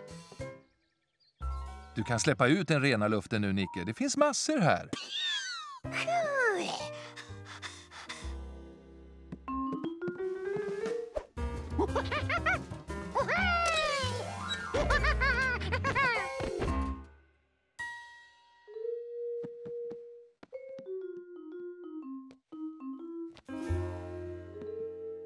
Titta, Nicke! Det ser ut som att Bill har byggt en kaninbur på tomten. Ska vi gå och titta på kaninerna? Här får ni. Hallå där! Har du Nicke med dig? Hur visste du att det var vi? Hmm, vild gissning. Hörni, jag har fått kaniner. Vill ni se? Nicke hade aldrig sett en kanin på nära håll. Gillar du kaniner, Nicke? Har du döpt dem? Visst! Där är Fluffy, Snövit, Brunis, Fläckis, Svartöra, Bomullstass och Herbert Nilsson. Och där är mamman. Vill du klappa en? Vilken då? Brunis? Snövit? Jaha, Fluffy. Fluffy cool. Det är några saker du måste veta om kaniner innan du klappar dem. Åh nej! Det är dags att dela ut tidningar. Tyvärr. Kom tillbaka imorgon så får du klappa allihop. Jaha, då får du vänta till imorgon, Nicke.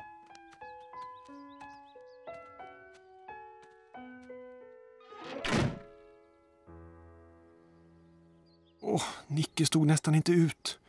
Vem kan vänta en hel dag på att få klappa kaniner? Ska du gå ut? Var en snäll liten apa nu. Nicke tänkte att han kunde hålla kaninerna sällskap medan Bill var borta.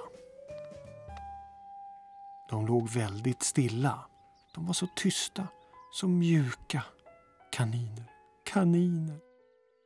Bill skulle säkert inte ha något emot att han klappade en kanin en enda gång om han var väldigt, väldigt försiktig.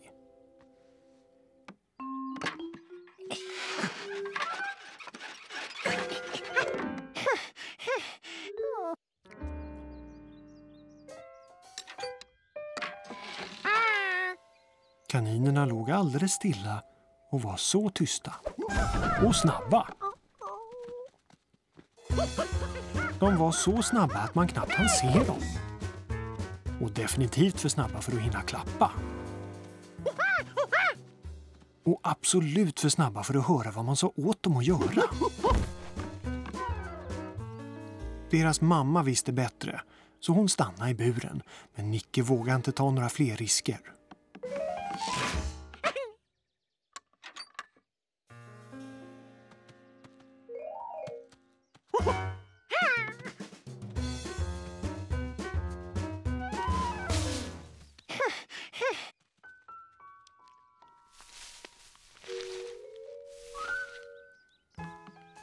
Nicke bestämde sig för att räkna matskålarna för att veta hur många kaniner som hade smitit ut. Sju stycken. Det betydde att han måste fånga ytterligare sju stycken. Ja, de kunde åtminstone inte rymma från tomten.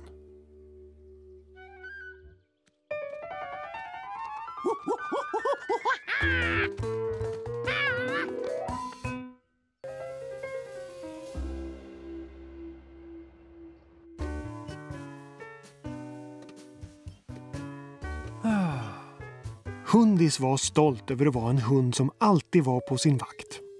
Han tänkte alltid på sitt jobb.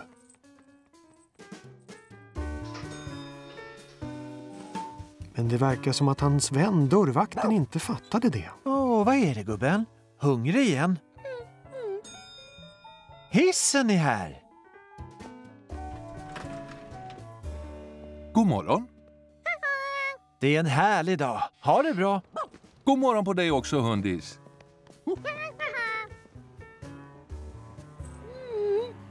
Ja, jag vet exakt vad du tänker. Hundis tänkte att när Nicke var där ute kanske inte stan skulle överleva. Eller ännu värre, att det skulle bli total kaos. Vem är det som vet vad hans hungriga hund vill ha? Visst kan jag läsa dina tankar, va? De smartaste taxarna är alltid de mest missförstådda. Nicke ville visa sin vän, mannen med den gula hatten, var han hade jobbat.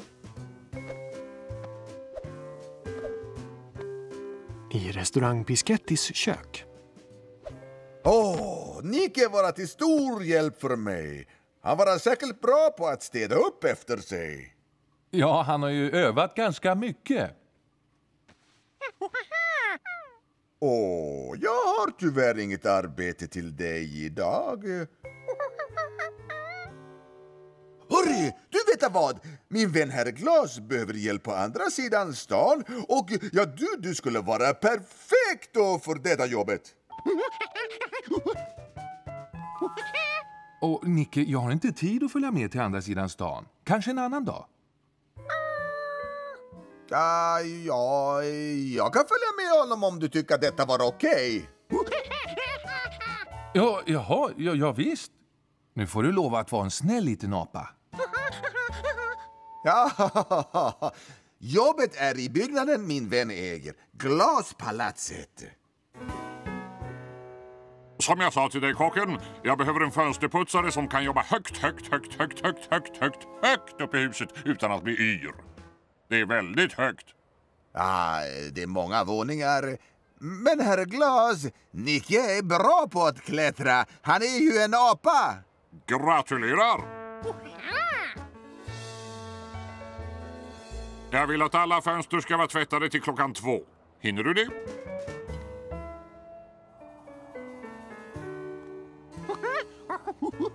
Så, här är allt du behöver. En cool keps. Fönsterputsning är ett viktigt jobb.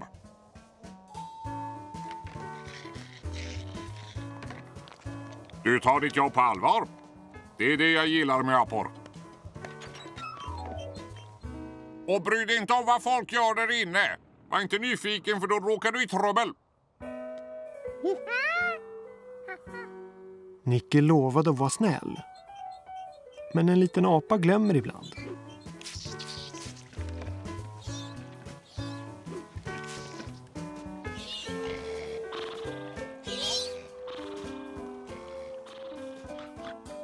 Det var svårt att låta bli att inte titta in. Men Nicke försökte koncentrera sig på sitt jobb.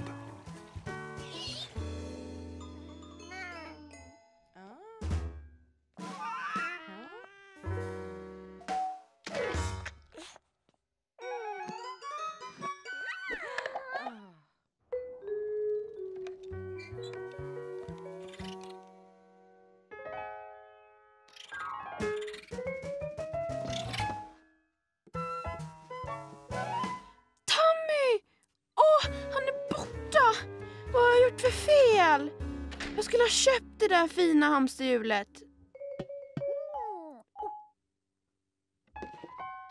Åh, Tammy! Jag skulle aldrig ha hittat dig i den här. Tack så mycket, fönsterapa.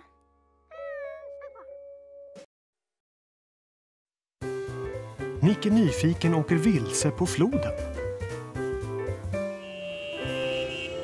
Efter en arbetsvecka inne i stan finns det ingenting som är så avkopplande som att åka ut till landet.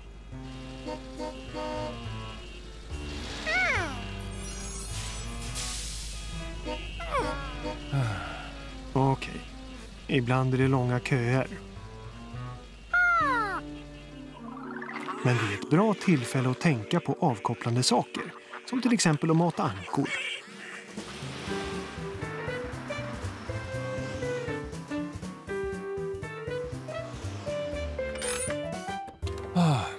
Det var de värsta köerna jag har sett.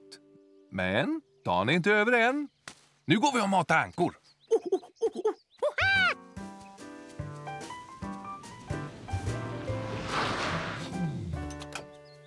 Hej, fru Brolin.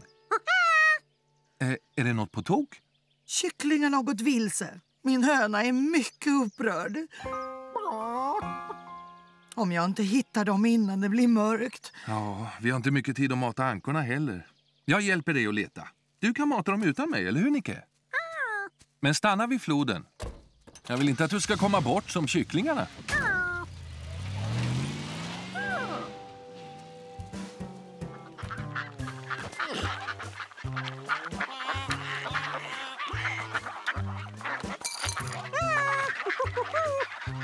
Att mata ankor är som en avkopplande hjärnmassage.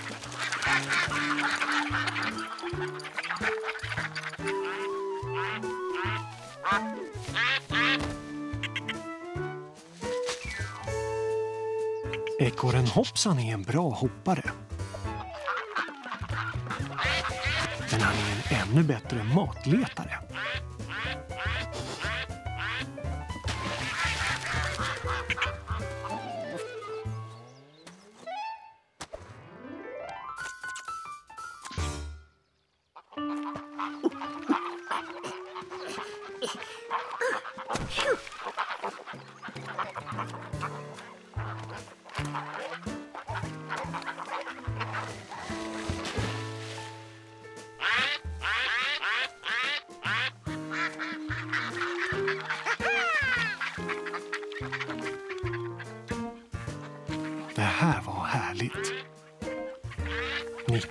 Aldrig varit med om att en massa ankor simmade omkring honom så här.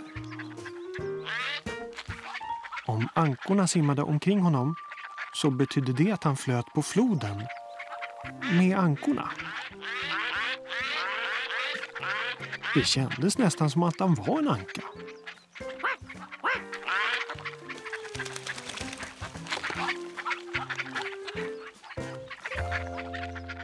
Vi tittar om kycklingarna är vid staketet.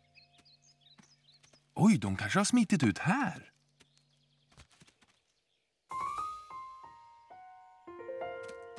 Då kan de vara var som helst.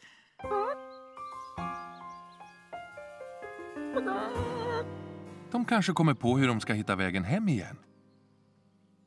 Precis samtidigt försökte kycklingarna faktiskt att hitta vägen hem. Men det gick inte så bra. Inte alls bra. Och på tal om att vara vilse, Nicke var så upptagen med att låtsas vara en anka att han inte märkte att han flöt längre och längre bort. Och det gick fort.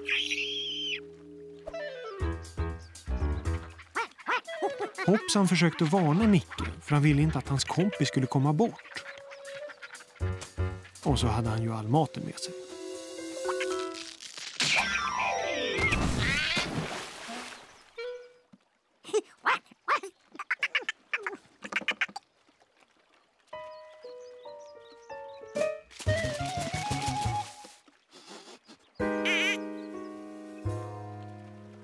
Hade de flutit långt bort, till platser de aldrig hade sett förut. Vilket gjorde Nicke nyfiken. Hoppsan tyckte att de skulle hoppa på den där lilla båten till höger. Eller var den till vänster? Men den var inte liten. Den låg inte ens i floden. Nu längtade Hoppsan hem. Det var lätt att få syn på mannen med den gula hatten när han gick hemåt. Speciellt för en apa med bra syn. För det fanns ingen annan som var så gul.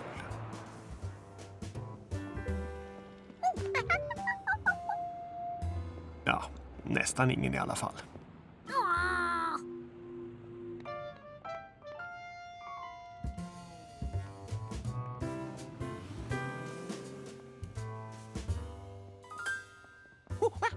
Nicke blev jätteglad när han såg sin vän. Och när han såg att han hade ett paket blev han ännu gladare.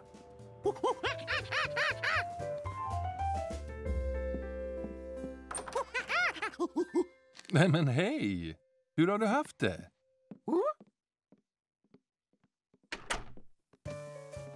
Har du varit en snäll liten apa? Så ska det låta. Ta, ta, ta, ta det lugnt, Nicke. Det där paketet är inte till dig. Det är till professor Wiseman på födelsedagen. Du får se vad det är i den när hon öppnar det. Ikväll alltså, vid middagen. Men det var ju hundra år till middagen. Kanske han kunde tjuvtitta lite redan nu. Om du verkligen vill öppna något, följ med ut i köket. Här, låtsas att apelsinskalning är paketöppning. Då hjälper du mig på samma gång. Att skala en apelsin kändes inte som att öppna ett paket. Men det fanns något gott inuti. Det kanske var ett sånt här tjockt skal för att det inte skulle spruta.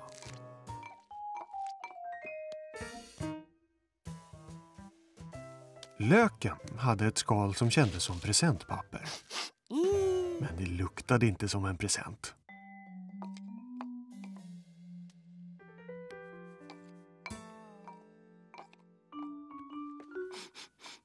Inte så konstigt att det var ett skal på osten.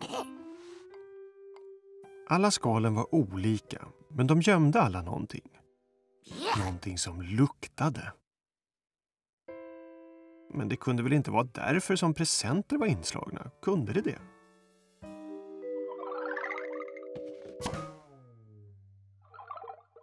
Nicke, kan du skala ett äpple åt mig? Det här var mycket bättre. Äpplet luktade gott.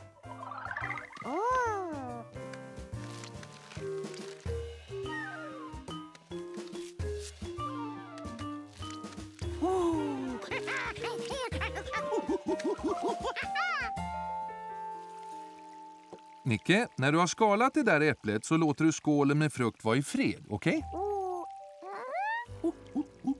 Det är professor Wisemans favoritfrukter som jag köpte speciellt till hennes födelsedag.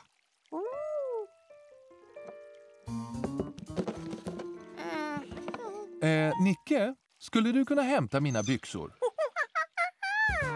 De har lagt upp dem åt mig på varuhuset.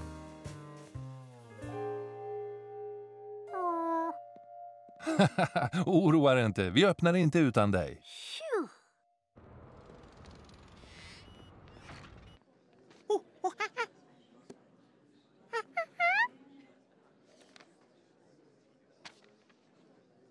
Sätt dig och vänta. Jag kommer strax tillbaks med byxorna.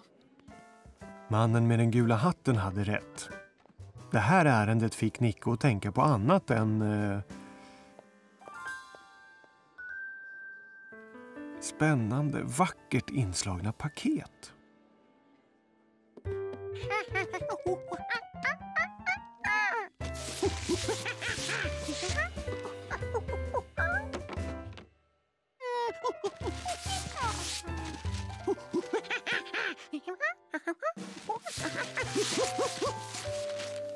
Inget man kunde äta, inget man kunde lukta på. Ingenting. Alla paket som Nicke hade öppnat var ett mysterium. Varför har de slagit in tomma kartonger? Ge mig din ärliga åsikt. Jag är väldigt stolt över skyltfönstret. Men det här är inte ett skyltfönster. Det är en berättelse. Rester efter en födelsedag. Fantastiskt. Jag gillar det. Jo, men jag... jag, jag, jag tackar. Nicke undrade vad en gummisnodd kunde växa till.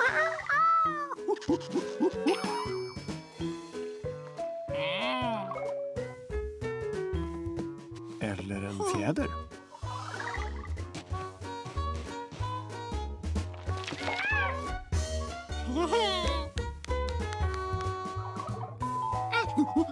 Nicke tänkte gräva ner alla möjliga spännande saker.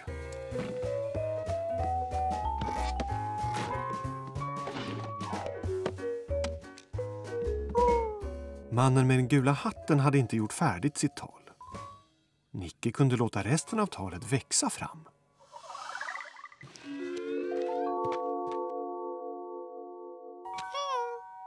Bla bla bla bli bli bli bli bla bla bla bla. Det här kommer bli det bästa talet i världen. Hej Nick, har du bara suttit här och väntat på mig hela tiden?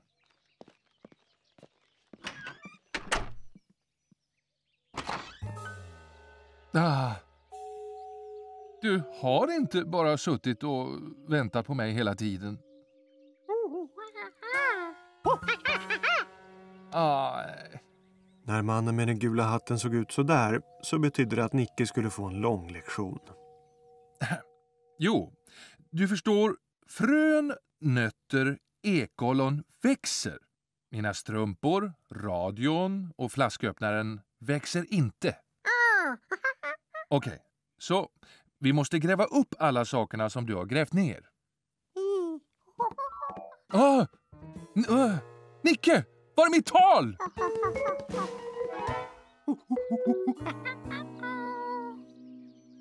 Okej, vi måste gräva upp mitt tal allra först. Nicke var inte som ekorren Hoppsan. Han kunde inte lukta sig till var sakerna fanns. Allting luktade bara jord.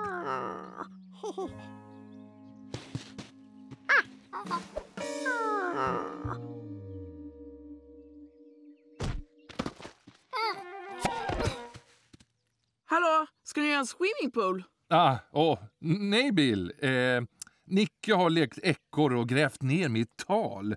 Vi kan inte hitta det. Jag kan hjälpa till. Vänta, jag vet någon som kan vara till hjälp. Hon är duktig på att gräva.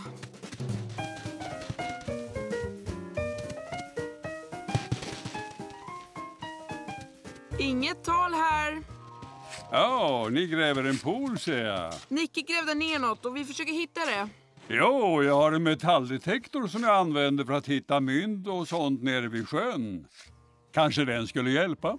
Coolt! Eh, mitt tal är inte direkt gjort av... Eh,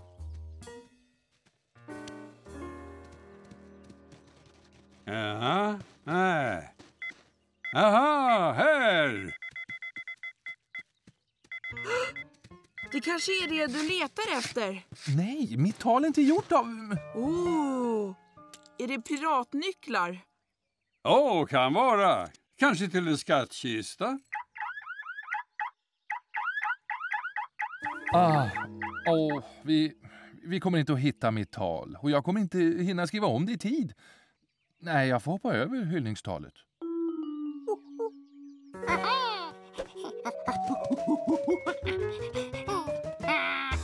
Nicke hade inte samma talanger som en ekorre.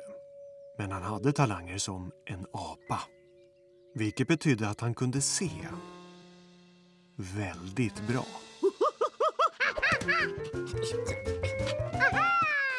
Du hittade! Talet! Men eh, det är inte gjort av metall.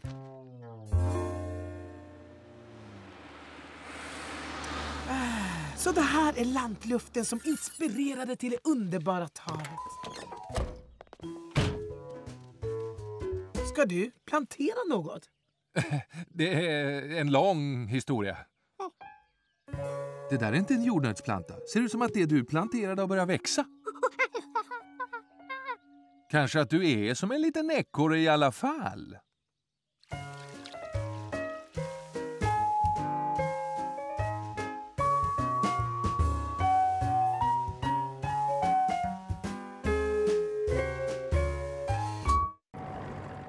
I huset där Nicke bor var det alltid ordning och reda. Och det var precis så som Hundis ville ha det. De har kommit för att tvätta era mattor. Folk kom.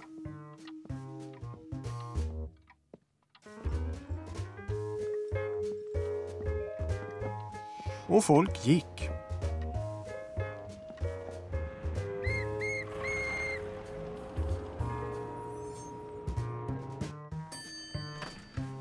Hissen kom.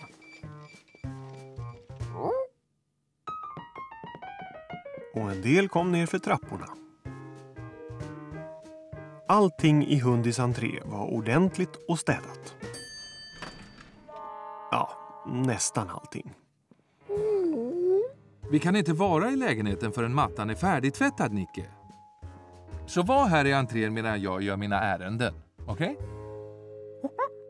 Okej. Åh, oh, oh, om du blir hungrig. Jag är snart tillbaka.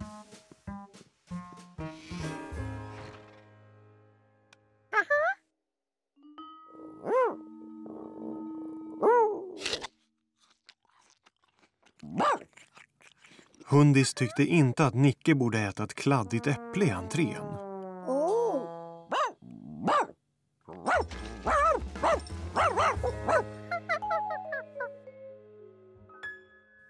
Micke trodde att det antagligen var bättre om han åt sitt äpple någon annanstans.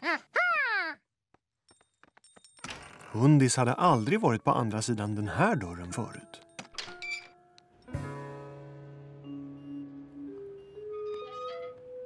Men han var ganska säker på att det var emot reglerna att vara här ute.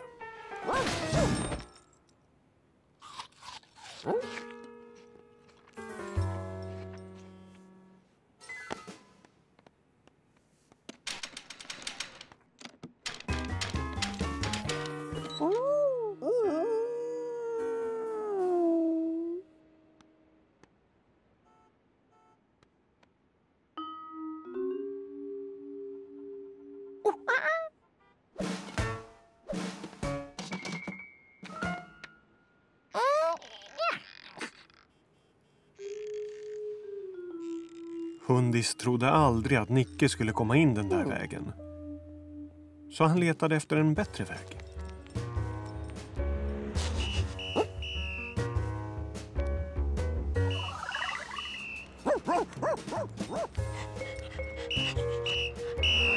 Okej, masa er iväg. Det var i alla fall en sak som Hundis visste säkert. Hemma låg åt det hållet. Eller eh, kanske åt eh, det hållet.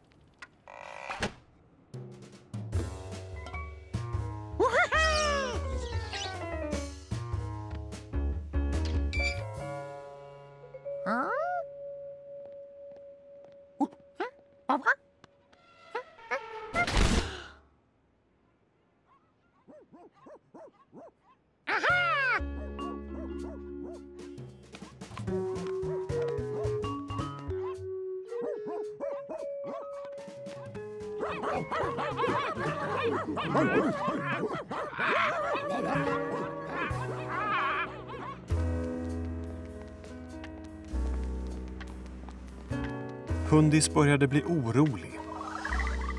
Han kunde riktigt föreställa sig vilka hemska saker den där busiga apan gjorde i hans entré. När Hundis äntligen hittade sitt hus såg det till och med värre ut än han kunde föreställa sig. Men sen såg Hundis att det inte ens var hans gata. Och det betydde att han inte hade någon aning om var han var.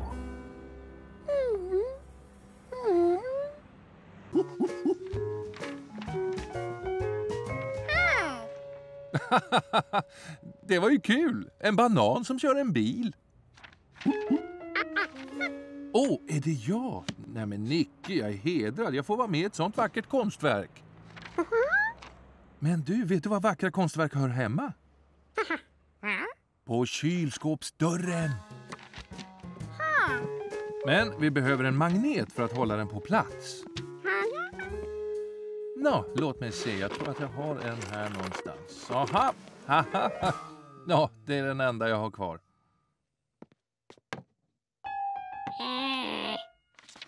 Hmm, du har rätt. Den kommer verkligen inte till sin rätt. Okej, vi har ett uppdrag. Gå ut och köpa en fin magnet och sätta upp den med. Nicke, försiktigt. Häng inte i kylskåpet.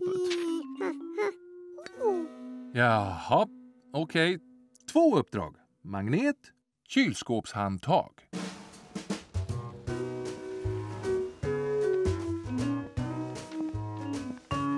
Åh, oh, hej professor Wiseman! Hej killar! Wow, du är på fel ställe. Det här ska vara på ett konstmuseum. Vi är här för att köpa en cool magnet så vi kan sätta upp den på kylskåpet. Hörni, när ni ändå är här, vill ni se vårt nya magnetorium? Ja, men ja! Och du kanske frågade Nicke? Nicke hade bråttom att komma hem och hänga upp sin teckning. Men han var nyfiken. Välkomna till Magnetoriet!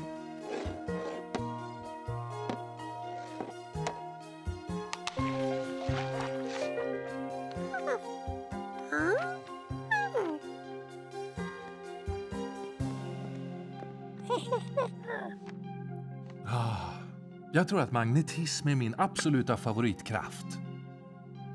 Nicke kände att han kunde vara här hela dagen. Men eh, de hade ett uppdrag. Mm? Åh, precis. Vi kommer tillbaka en annan dag och leker med alla de här sakerna. Eh, Innan ni går, försök att nudda bakdelen av bilarna med den här magneten.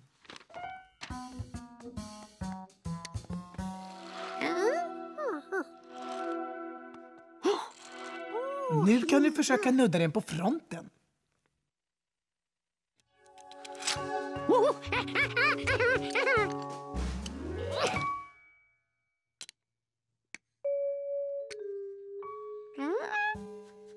Alla saker är inte magnetiska, bara vissa metaller. Haha, Nicke, titta på det här! Titta här, det här är ju ingen magnet. Men allt som dras till magneter kan förvandlas till magneter genom att man drar mot magneten så här, i samma riktning.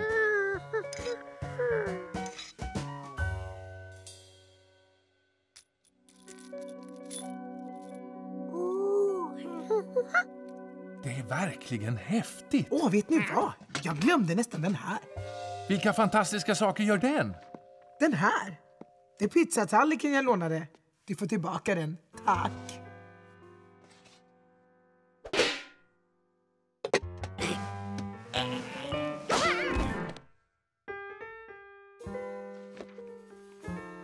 Nicke var fortfarande ivrig att få köpa sina små magneter och gå hem. Men först ville han ta reda på vad det fanns mer som var magnetiskt här inne. Dinosaurieskelett? Nej. Jordsvinet av sten? Nej.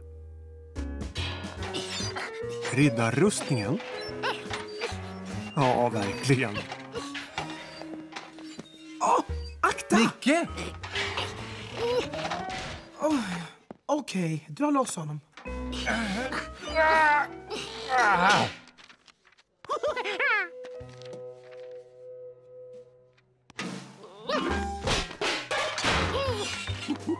Nicke! Ben, rustningen ramlar!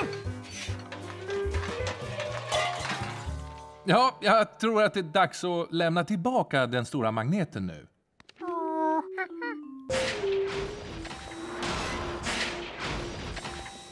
Den här dagen började med en massa bankande och slamrande.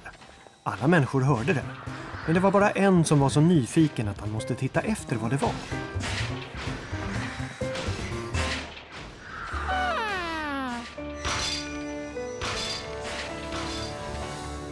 Wow, vilken häftig byggarbetsplats va, Nicke?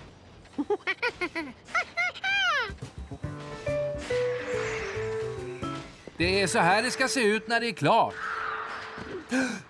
Min hatt! Hjälp! Min hatt! Fånga den!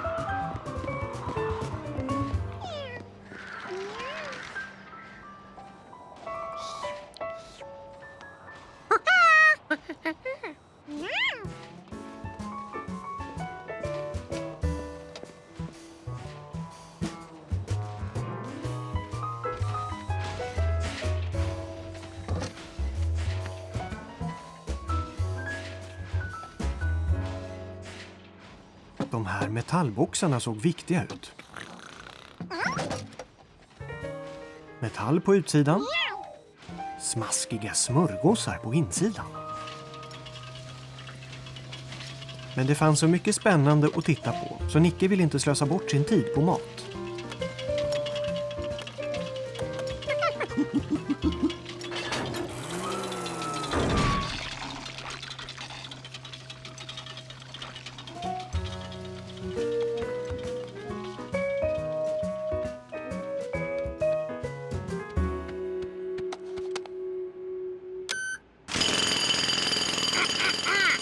Maskinerna är mycket roligare när de bankar och slamrar.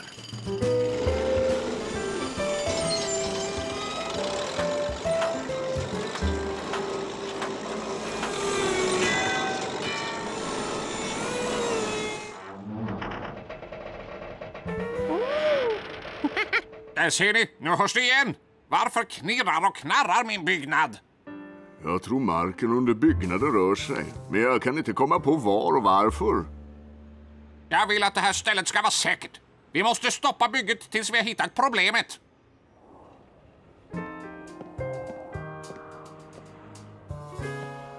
Nicke! Nicke, kom ner! Det där är ingen lekplats!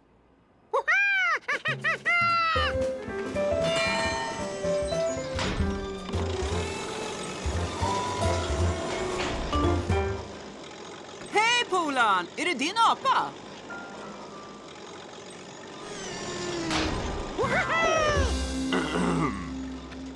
Och är det här din katt? Nej, nej, nej. Ja, ja, ja, ja jag vet vems det är och... Åh, olydig katt! Ja, ja, jag får väl bjuda på lunch.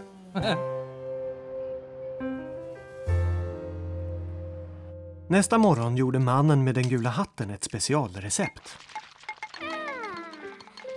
God morgon. Vad vill du ha till frukost? Våfflor eller pannkakor? Våfflor och pannkakor ska bli. Ledsen, Nicke. Det finns inga blåbär. Vi får hitta något annat att lägga på pannkakorna då. Ja, eller så går du ner till affären och köper blåbärssylt. Okej, Nicke. Det här är en 20. Så var väldigt eh, försiktig. Nicky märkte att det var något som var annorlunda. Det hördes inget bankande och slamrande. De kanske var klara. Byggnaden var nog klar. Blåbärsskylten fick vänta. Byggnaden var inte klar. Men det var ingen som jobbade idag.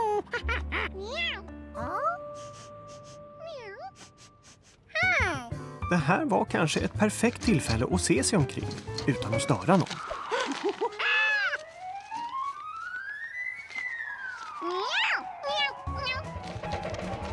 Hur ska han nu betala för blåbärssylten?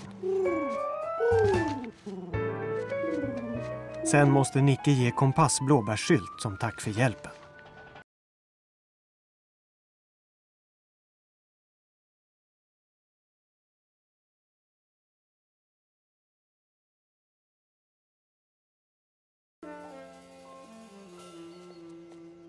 Det var en härlig sommardag.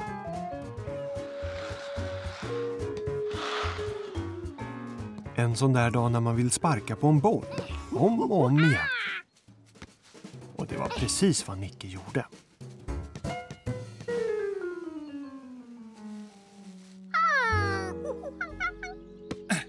Ja, men du har blivit duktig, Nicke. Bara lite mer träning så. Självklart. Om man ska bli bra på något så måste man träna mycket. Oh, hörru! Du måste gå nu. Du ska väl passa Charlie idag, eller hur?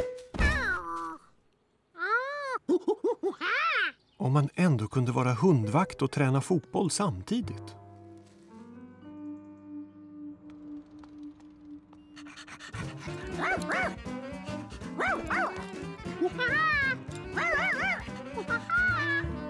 Hej Nicke! Tack för att du gör det här. Jag ska bara vara hos hårfrissan i en timme. Jag ville ta Charlie med mig, men en del är allergiska mot hundar. Du får gärna sitta hundvakt hemma hos oss.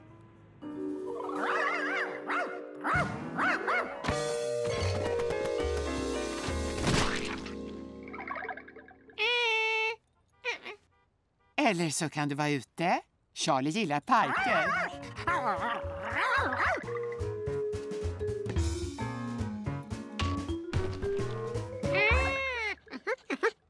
Okej, ha det kul!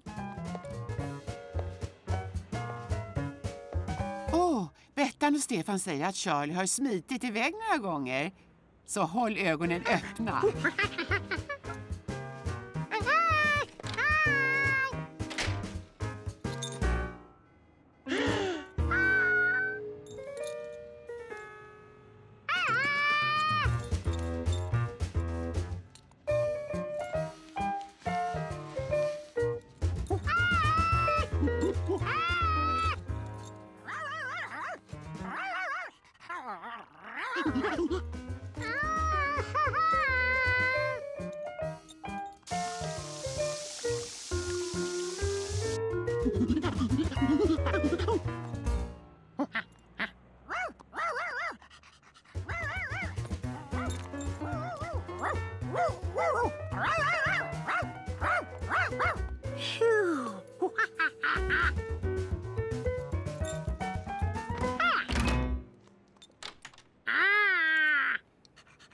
Charlie kunde slita sig loss från kopplet så här lätt så skulle Nicke aldrig få någon chans att träna fotboll. Om han inte tränade här. Det var inte lika bra som parken, men det fick duga. Och det bästa var att det fanns ett fotbollsmål här.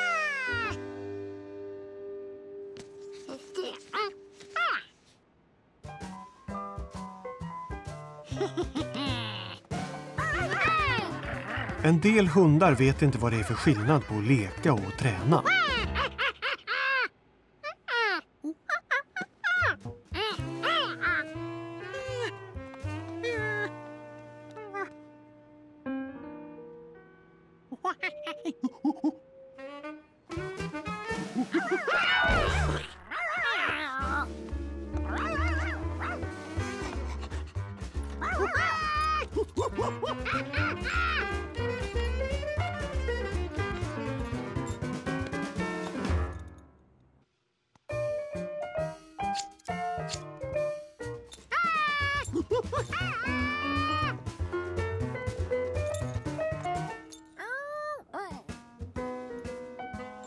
Att jaga Charlie var faktiskt lite kul.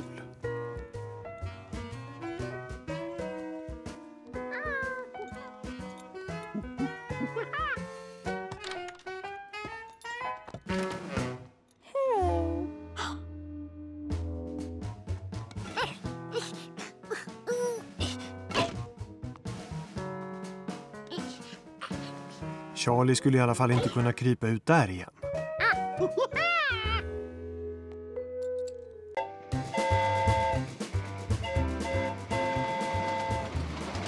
Nicke är på landet finns det mycket kul saker att göra.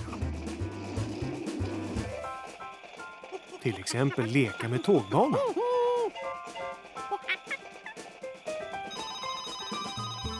Hallå? Åh, oh, hej Bill! Drakflygarträffen har precis slutat. Jag kommer åka hem med skjutåget. Okej, vilken tid kommer du att vara framme på stationen? Tåg nummer sju kommer fram exakt klockan tre. Okej, jag kommer dit. Hej då! Nicke, du vill väl förstås inte göra dig besväret att följa med till tågstationen för att hämta Bill?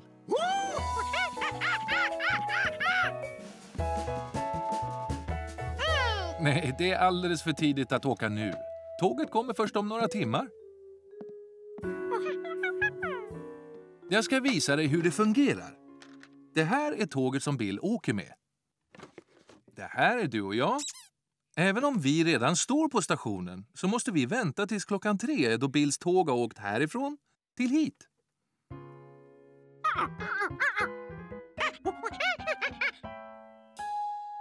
Okej, okay. vi kan åka till stationen tidigare så får du se hur det går till.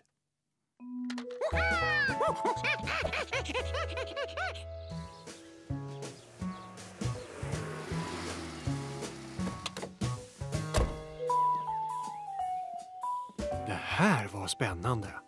Nicke hade aldrig varit på en tågstation. Hej på er grabbar! Ska ni ta en tågtur? Jag rekommenderar en resa med båt. Och vi ska inte resa. Nicke vill se hur tåg fungerar. Jaha, vill du se det från insidan av tågstationens självaste nervcenter? Får vi verkligen vara där uppe? Självklart. Min bror är tågmästare. Jag har med mig hans lunch. Hej Flint! Hej Clint! Här är mina kompisar Nicke och... eh, Ja, du är mannen med den gula hatten. Jag ser dig på stan här uppifrån för att du sticker upp eh, som en... Eh, som en stor gul sak som sticker upp. Ja, eh, jo, den här lilla apan vill se hur det går till när man kör riktiga tåg.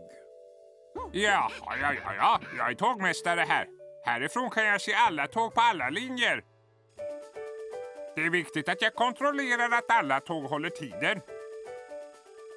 Titta, ser du där? Tåg nummer ett är beräknat att komma hit först. Eh, nummer två kommer sen och sen kommer nummer tre. Det är jätteenkelt.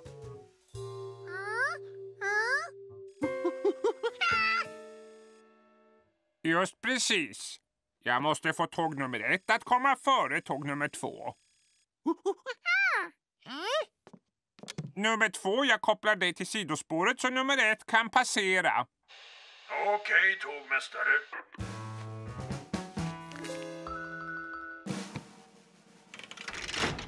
Jag ser till att nummer två byter spår så att nummer ett kan åka förbi.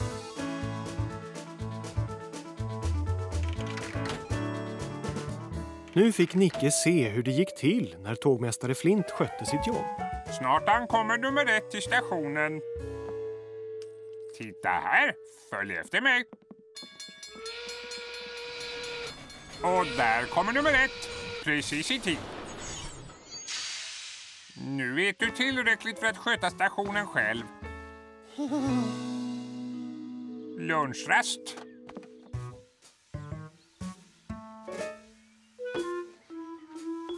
Nej tack. Vad ända in i järnvägars försöker du lura mig, Clint? Åh, oh, hala seglen nu, Flint. Håll i biffarna. Din är stor. Min är avskuren i kanterna som någonting... Som någonting med avskurna kanter. Jag gjorde två halvor och en halva är en halva. Jag ska göra två nya och bevisa att du har lika fel som en flygande forell. Du är domare så det blir rättvist. Eh, borde inte någon sköta tågstationen? Nej, det är okej. Jag går alltid ifrån ett tag vid lunch. Om något ovanligt inträffar så ringer den där varningsklockan. Nicke får gärna vara kvar. Han kan inte göra någon skada. Kom ihåg, var en snäll liten apa.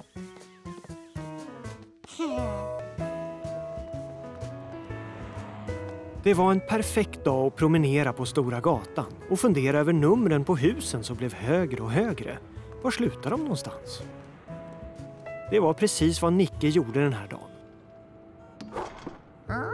Ända tills han blev nyfiken på ett ljud.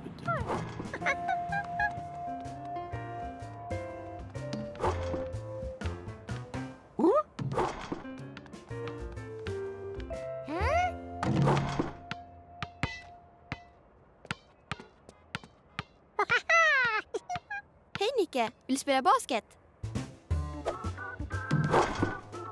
23! När är det min tur, Stefan? När jag missar. Om jag missar. Så, vad var jag? Åh oh, ja, 23. Jag ska försöka göra ett nytt rekord med 24 mål i rad.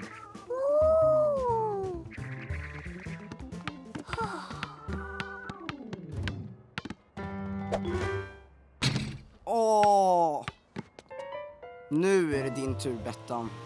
Här, du kan försöka Nicke. Åh,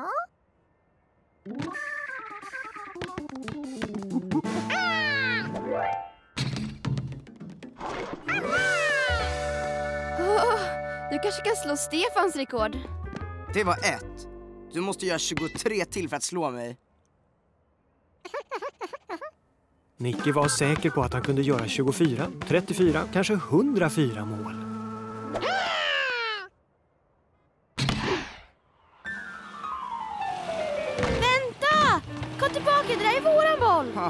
Och nu då? Vad sägs om minigolf? Har du inte spelat det? Det är kul. Det finns ett slott och en väderkvarn.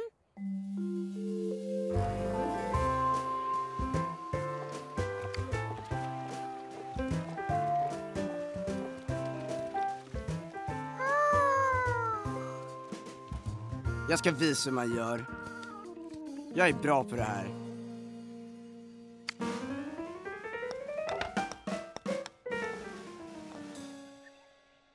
Du får poäng efter hur många slag du hade för att få bollen att komma ner i hålet. Nicke hade ett mål. Han skulle bli bättre i minigolf än han var i basket.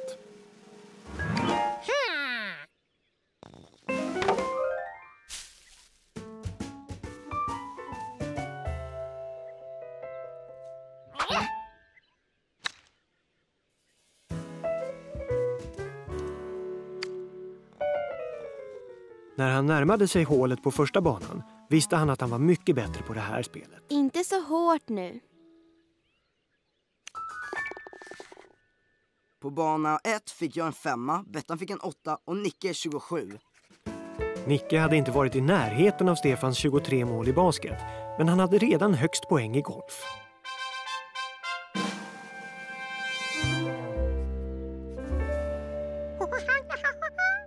På den här banan har Bettan fyra och jag tre. Om du slår i den nu så får du nio. Nio? Nicke var säker på att han skulle kunna få högre poäng. Så han gjorde sitt bästa för att missa. Det var tio. Kämpa på. Elva. Tolv. Tretton. Fjorton.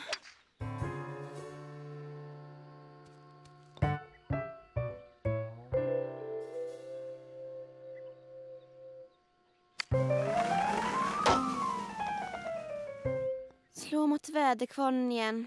Det var 20. Att få höga poäng i golf var lätt. Nicke var född till golfspelare. När matchen var slut räknade Stefan ihop poängen. Jag hade 35. Det är mitt nya personliga rekord i minigolf. Bettan hade så mycket som 58. Och Nicke 257.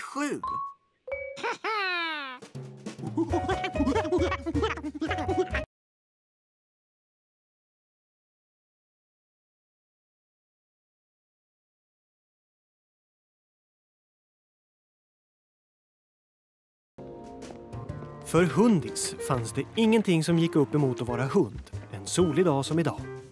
Det var mycket mer att vara stolt över än att vara en svettig och utmattad människa. Redan sprungit maratonloppet? Ja. Och du vann en pokal. 17 plats. Gratulerar!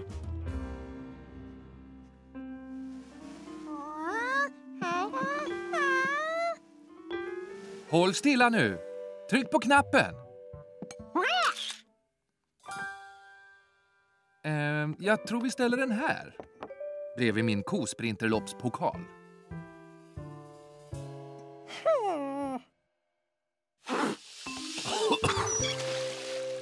När man har sina pokaler glömmer man inte saker man gjort för man måste ju rengöra dem.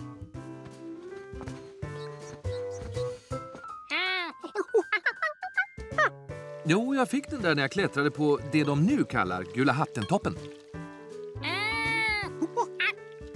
Ja, du kommer att vinna pokaler också. Pokaler får man när man gjort något riktigt bra. Ja, kanske bäst på att vara en snäll liten apa. Nicke förstod att den chansen inte var så stor. Men kanske något annat. Någon dag.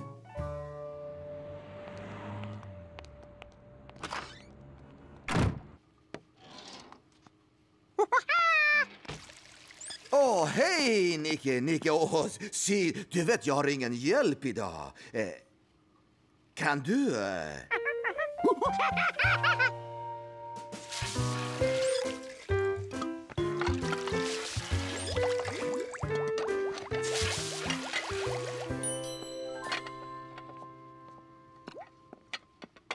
Allt klart!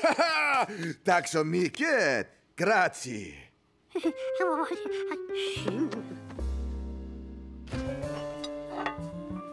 Min nya dessert, glasspokalen gnocchi. Till dig, Nicke. Det är faktiskt bara hjälpsamma apa-priset. Mitt tack för ett mycket bra jobb. Den här glasskatten var Nickes första prispokal. Pokaler får man när man gjort något riktigt bra.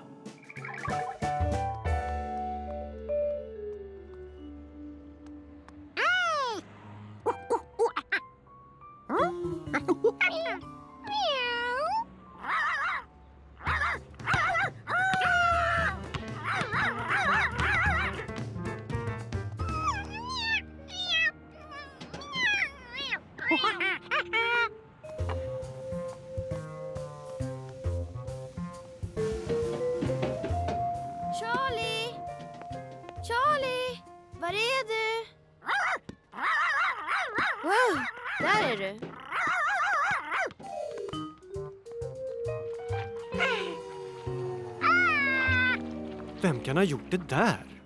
Det är verkligen elakt att smälta en apas glassvinnarpokal.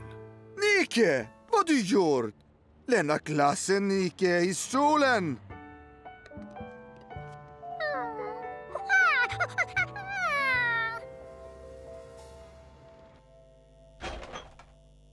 Ja, jag kanske kunde använda den till något. Denna gången, inte ställa den i solen där den smälter. Nu visste Nicke att han inte kunde ställa sin pokal i solen.